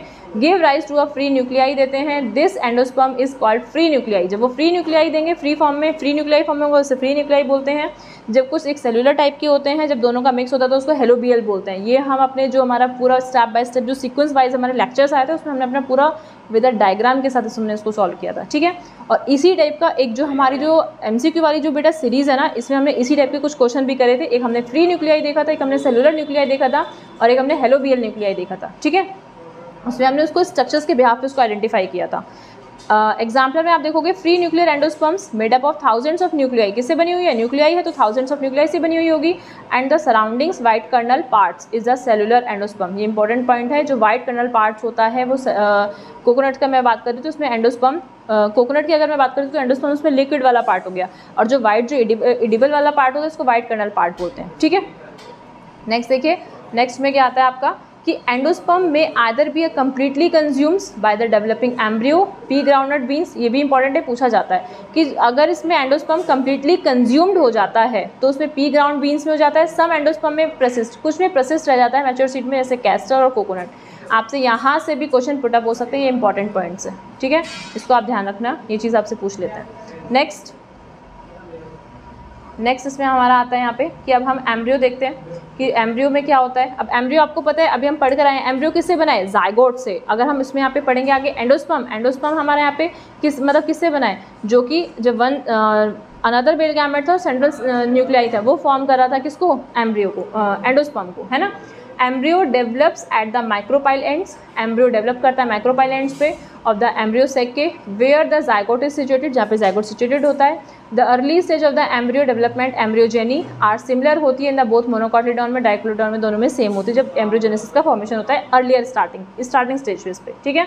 अर्लियर में the zygote gives rise the pro embryo अब zygote pro embryo देगा subsequently the globular heart shape देगा मैच्योर एम्ब्रियो अभी हम ऑलरेडी पढ़कर आ चुके हैं, उसके स्ट्रक्चर्स को पहले ग्लोबुलर था, फिर हार्ट शेप का था, ठीक है? अभी हम अपना देख रहे हैं डाइकॉटलीडॉन्स का डाइकॉटलीडॉन्स एम्ब्रियो है प्लीम्यूल, अभी बताया मैंने आपको, plumule, give rise to a shoot and cotyledons two cotyledons dicot है तो बेटा इसमें आप डाई कॉट दो कॉट पढ़ोगे, एक कॉट ये, एक कॉट ये तो डाई कॉट्स हो गई। हाइपोकोटाइल हाइपोकोटाइल्स क्या थी इसकी? बिलो वाला पार्ट था जो कि रेडिकल्स को फॉर्म करा था और इपी वाला पार्ट प्लिम्यूल को फॉर्म करा था इपीकोटाइल वाला, है ना? और ये रूट कैप हो गई नीचे वाली। ये रूट ये रेडिकल हो गई, जो रूट को फॉर्म करेगी, ये इसकी रूट कैप हो गई, ठीक है? कभी कभी इसमें आपको डायग्राम दे देगा, उसकी लेबलिंग भी आपसे पूछ लेगा। यहाँ से भी क्वेश्चन आ सकते हैं, ठीक है? It consist of an embryonal axis and the two cotyledons होते हैं। The portion of the embryonal axis above the level of the cotyledons cotyledons के अबव लेवल में होंगे इज़ इपिकोटाइल्स होगा विच टर्मिनेट द प्लीम्यूल अभी हम ऑलरेडी पढ़ चुके थे इस बात को। The portion of the embryonal axis below the level of the cotyledon is called the hypocotyl which terminates with the radicle मैंने अभी आपको ये भी बताया कि प्लीम्यूल जो होगा वो हमारा रूट देगा, जबकि जो हमारा रेडिकल जो होगा वो हमारा क्या देगा? शूट देगा, ठीक है? अब देखो, अभी हमने डाइकॉट एम्ब्रियो देखी, अब हम क्या देखते हैं? जस्ट अ मिनट हाँ मोनोकॉट एम्ब्रियो देखते हैं। देखो, ये मोनोकॉट का स्ट्रक्चर है, ये भी बहुत इंपॉर्टेंट है स्क्यूटिलम बेटा, वहाँ पे हमने कॉटिडॉन वर्ड यूज़ करा था, यहाँ पे हम क्या यूज़ करेंगे? स्क्यूटिलम यहाँ पे आप cotyledon word just a minute हाँ। यहाँ पे हम अपना कॉटिडॉन वर्ड ना यूज़ करके हम क्या यहाँ पे यूज़ करेंगे मोनोकॉट में? स्क्यूटिलम और डाइकॉट में हम यहाँ पे यूज़ करेंगे मोनो कॉटिडॉन। ठीक है? डाइकॉट में यूज़ करेंगे। यहाँ पे आपका कॉलेप्टाइल, वहाँ पे हमने प्लीम्यूल पढ़ा था। आपको सिर्फ़ पी से पी याद रखना है। ये जो पी है, कॉलेप्टाइल कॉलेप्टाइल क्या देगा? ये प्लीम्यूल ही है, जो कि क्या देगा? Coleoptile give rise to a shoot देगा यहाँ पे हमारा। ठीक है? और इसमें आपका आता है कॉलियोराइजा। राइजा से आर से आर आप याद रखोगे तो ये क्या देगा? Give rise to a root ये रूट देगा। तो यहाँ पे ये रेडिकल रूट कैप हो गया। ये यहाँ पे शूट एपेक्स हो गया, ये इसकी पी ब्लास्ट मोनोकॉलिडॉन्स की मैमरेन है पी ब्लास्ट और हाइपोब्लास्ट वहाँ पे हमने मैमरेन पढ़ी थी अलग अलग ठीक है? यहाँ पे देखो नेक्स्ट यहाँ पे हमने पढ़ी थी इपिकोटाइल और हाइपोकोटाइल। यहाँ पे हमने पढ़ी है इपी ब्लास्ट एंड हाइपोकोटाइल। ये इंपॉर्टेंट है ध्यान रखना। Next embryos of the monocotyledons possess only the one cotyledons grasses family of the cotyledon is called scutellum ये पॉइंट बहुत इंपॉर्टेंट है, आपको ध्यान रखना है। मोस्ट इंपॉर्टेंट पॉइंट्स है, ठीक है? Very important next The embryonal axis has the radicals and root cap enclosed in and the undifferentiated sheath called the coleorhiza जिसमें undifferentiated sheath होती है उसको बोलते हैं coleorhiza जो कि radicals ही form करती है root ही दे रही है ठीक है epicotyle has a shoot apex and a few leaf enclosed in a hollow foliar structures called the coleoptile कुछ उसमें foliar structures होती हैं hollow होती है तो उसको क्या बोलते हैं coleoptile बोलते हैं ठीक है नेक्स्ट देखते हैं इसमें हमारा सीड सीड से भी आपके क्वेश्चन आते हैं, देखो। सीड में क्या होता है? In an angiosperm the seed is final production of sexual production sexual production का फाइनल फाइनल प्रोडक्शन होता है, उसको बोलते हैं seed seeds are form inside the fruit seeds कहाँ होती है? फ्रूट के इन साइड वाले रीजन में तो फॉर्म होगी. Seed consist of the seed coat seed coat करती है एंड यहाँ पे हमारी कुछ क्या होती है? कुछ एम्ब्रियो कुछ एम्ब्रियोक्सिस होती हैं। तो सीड कोट जो होती है उसकी कवरिंग पूछ लेता है टेस्टा एंड टेगमेन तो आपको पता होना चाहिए कि टेस्टा क्या होती है? आउटर कवरिंग होती है और टेगमेन क्या होती है? इनर कवरिंग होती है। ठीक है? नेक्स्ट देखिए नेक्स्ट में क्या आता है? अब यहाँ से भी क्वेश्चन आता है आपका सीड मैंने अभी आपको बताया एक एल्ब्यूमिनस एक नॉन एल्ब्यूमिनस सीड और एक एल्ब्यूमिनस सीड्स अभी हमने यहाँ पे पढ़ा था कि कंप्लीटली कंज्यूम्ड हो जाता है तो पी में हो रहा था। वो नॉन कंप्लीटली कंज्यूम तो उसमें कैस्टर आ रहा था, ठीक है? तो देखो सीड हैज़ नो रेसिड्यूल मतलब उसमें एंडोस्पम कुछ नहीं बचा रह जाएगा। As it is a completely consume non albuminous albuminous का मतलब यहाँ पे एंडोस्पम अगर एंडोस्पम यहाँ पे नहीं है तो मतलब कंप्लीटली कंज्यूम हो गया तो ड्यूरिंग द एम्ब्रियो डेवलपमेंट के टाइम तो उसमें पी आ जाएगा ग्राउंड नट इंपॉर्टेंट है, ध्यान रखना, बच्चे इसमें बहुत कन्फ्यूज़ हो जाते हैं कि कभी ये लगा देते हैं इसमें यहाँ पे लगा देते हैं कैस्टर इसमें लगा देते हैं मेज कि नॉन एल्ब्यूमिनस है। बट आपको ध्यान रखना है कि जो नॉन एल्ब्यूमिनस है, उसमें कम्प्लीटली कंज्यूम नहीं होता मतलब कम्प्लीटली कंज्यूम नहीं होता है वहाँ पे उसमें, ठीक है? तो उसमें सॉरी कम्प्लीटली कंज्यूम हो जाता है, कोई रेसिड्यूल वाला पार्ट नहीं बचता। तो वो हमारा क्या है? नॉन एल्ब्यूमिनस और एल्ब्यूमिनस में हमारा क्या होगा? Seed have retain parts of the endosperm it not completely consume उसमें कम्प्लीटली कंज्यूम नहीं होता during the development of embryonic development के टाइम पे। वीट में रह जाता है, मेज में बार्डे में, सनफ्लावर में एंड कैस्टर में। ये आप ध्यान रखना है इसमें यहाँ पे कैस्टर आ जाएगा, ठीक है? तो ये एल्ब्यूमिनस के पार्ट थे हमारे। आपको सिर्फ़ एग्ज़ाम्पल एग्ज़ाम्पल ध्यान रखना है। यहाँ पे एक पिक्चर से भी देखो, इसमें शो करा करा हुआ है कि आपको एक नॉन एंडोस्पर्मिक बताया, एक एंडोस्पर्मिक बताया। ये आपकी ब्रॉड बीन की शेप है, ये आपकी मेज़ की, जो कि हमने एल्ब्यूमिनस और ये हो गया हमारा नॉन एल्ब्यूमिनस ठीक है? इसमें इसी को बताया हुआ है। इसके बाद हम कुछ एक पेरिस्पर्म पढ़ते हैं। ये भी इंपॉर्टेंट पॉइंट्स है आपको यहाँ से भी आपको क्वेश्चन आपको देखने के लिए मिल जाएगा कि पेरिस्पर्म क्या होता है। पेरिस्पर्म इट्स अ न्यूसीलस का रिमिनेंट पार्ट होता है इज़ अ बचा हुआ पार्ट प्रसिस्टेंट पार्ट रह जाता है, ठीक है? एज इट इज़ यही लाइन आ जाती है बेटा एम सी क्यू पे। Some seeds such as a black peppers and beet remnants of the nucellus nucellus का जो बचा हुआ पार्ट रह जाता है remnants and also persistence this persistence nucellus ये जो न्यूसिलस का जो प्रसिस्टेंट पार्ट होता है, उसको बोलते हैं पेरी ठीक है? ऐसा नहीं है कि जो मैं आपको बस बोल रही हूँ कि यहाँ पे ये वाला पार्ट आ जाता है। आप आप खुद भी फील करोगे कि बाद में क्वेश्चंस जब आएँगे, जब आप देखोगे कि हाँ सच में मैम ने सही बताया था कि क्वेश्चंस आ जाते हैं यहाँ से, ठीक है? फ्रूट्स फ्रूट्स में देखिए टू टाइप्स ऑफ़ फ्रूट्स होते हैं। तो टू टाइप्स ऑफ़ फ्रूट्स होते हैं। तो पहले अभी फ्रूट्स की पहले हम पिक्चर्स देख लेते हैं, उसके बाद हम टाइप्स ऑफ़ फ्रूट्स पढ़ते हैं। तो देखो, ये ग्रेप्स हो गया ये ट्रू फ्रूट्स हो गया और ये एप्पल फॉल्स फ्रूट्स हो गया, ठीक है? तो इसमें आप देख रहे हो कि टाइप्स ऑफ़ फ्रूट्स में मैंने आपको यहाँ पे एक चार्ट के फॉर्म में मैंने आपको थ्री टाइप्स ऑफ़ फ्रूट्स बताया। एक मैंने आपको बेटा बताया यहाँ पे ट्रू फ्रूट्स एक बताया मैंने आपको यहाँ पे पार्थेनोकार्पिक फ्रूट्स और एक मैंने यहाँ पे आपको बताया है थोड़ा सा आप देखो फॉल्स फ्रूट्स ये कौन सा है हमारा? फॉल्स फ्रूट्स ठीक है? ये हो गया हमारे यहाँ पे फॉल्स फ्रूट्स अब देखो फॉल्स फ्रूट्स हमारा एप्पल है और ट्रू फ्रूट्स हमारा ग्रेप है, ठीक है? The fruit in which no part the flower developing develop along with the ovary called are called true fruits मतलब ट्रू फ्रूट्स वो होते हैं जिसमें हमारे जो uh, कोई भी पार्ट्स अपना टेक पार्ट्स नहीं करता along with the ovary ovary से इसका फॉर्मेशन होता है उसको ट्रू फ्रूट्स बोलते हैं ठीक है? एग्ज़ाम्पल पाइन हो गया ग्रेप्स हो गया मलबेरी हो गया मैंगो हो गया। तो ये किसके एग्ज़ाम्पल हो गए? ये एग्ज़ाम्पल हो गया आपके ट्रू फ्रूट्स के ठीक है? इसके बाद आप देख रहे हो यहाँ पे in some cases thalamus and other floral parts also proliferation along with the developments of the ovary मतलब ओवरी का जो फॉर्मेशन होता है डेवलपमेंट्स ऑफ़ ओवरी का फॉर्मेशन करते हैं तो वो थैलबस वाले रीजन से, बहुत इंपॉर्टेंट पॉइंट्स आपको ध्यान रखना है थैलबस वाले रीजन से, और कुछ ऐसे अदर फ्लोरल पार्ट्स होते हैं, उनसे भी आपका फॉर्मेशन होता है, उसको बोलते हैं फॉल्स फ्रूट जैसे इसमें आ जाता है एग्ज़ाम्पल एप्पल बनाना स्ट्रॉबेरी ठीक है?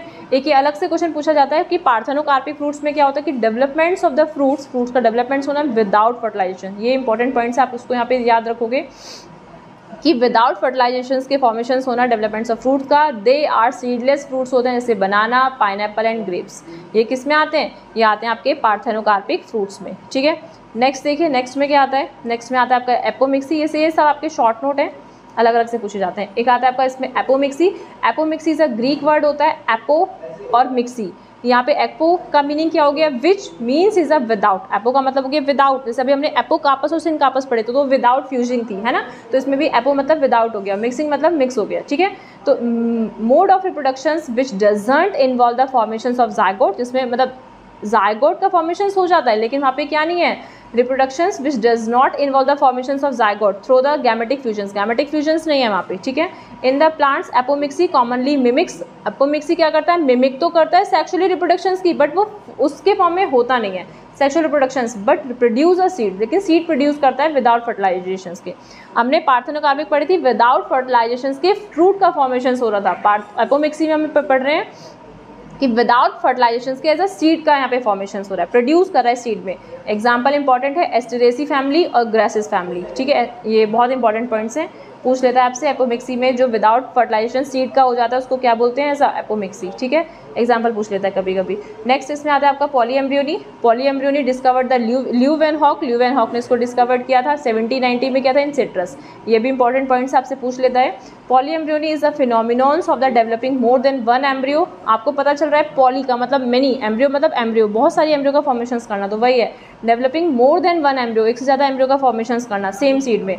In many citrus and mango varieties some of the nucellus cells मतलब जो न्यूसिलस की जो सेल्स होती हैं surrounding the embryo sacs start the dividing protrudes into the embryo उस एम्ब्रियो वाले पार्ट में प्रोट्यूड करना शुरू कर देती हैं, उसमें एम्ब्रियो सेकस में सराउंडेड होती हैं एम्ब्रियो सेकस स्टार्टिंग हो जाती है, ठीक है? डिवाइडिंग होना। Sac and the develop into the embryo और डेवलप कर देती हैं किसको? एम्ब्रियो को। ठीक है? तो यहाँ पे अभी हमने अपना ये पूरा फिनिश कर लिया, जो कि हमारा पूरा एक एपोमिक्सी था पॉलीएम्ब्रियोनी था, और यहाँ पे अभी हमने अपना पूरा एक लेक्चर बेटा पूरा जो हमारा जो सेकंड जो वाला चैप्टर है हमने पूरा अपना फिनिश करा उसमें हमने देखा कि हमारे कौन कौन से इसमें इंपॉर्टेंट टॉपिक है वो हमारे आ, इसी से यहाँ पे आपके क्वेश्चंस पुटअप हो सकते हैं ठीक है? आप जब आप ये वाली आप पूरा लेक्चर्स आप इसको देखोगे आप इसमें एनालाइज करोगे कि आपको इसमें आप कितना समझ में आया देन फिर आप इस यहाँ पे जो हमारी जो क्वेश्चन की जो पूरी एम जो वाली जो सीरीज़ है उसको आप फॉलो करना। तब आपको पता चलेगा इसमें आपके कितने क्वेश्चन आपके करेक्ट हो पाएँगे ठीक है? तो ये आपके लिए थोड़ा बेनिफिट रहेगा थोड़े कम टाइम में आपका पूरा चैप्टर फिनिश हो गया। इसमें आपको most of question most of examples इसमें आपको पता चल गए, ठीक है? और इसके बाद सेम इसी टाइप से हम अपना जो हमारा नेक्स्ट लेक्चर होगा एज ह्यूमन रिप्रोडक्शंस का, हम उसको नेक्स्ट लेक्चर में कवर करेंगे। Thank you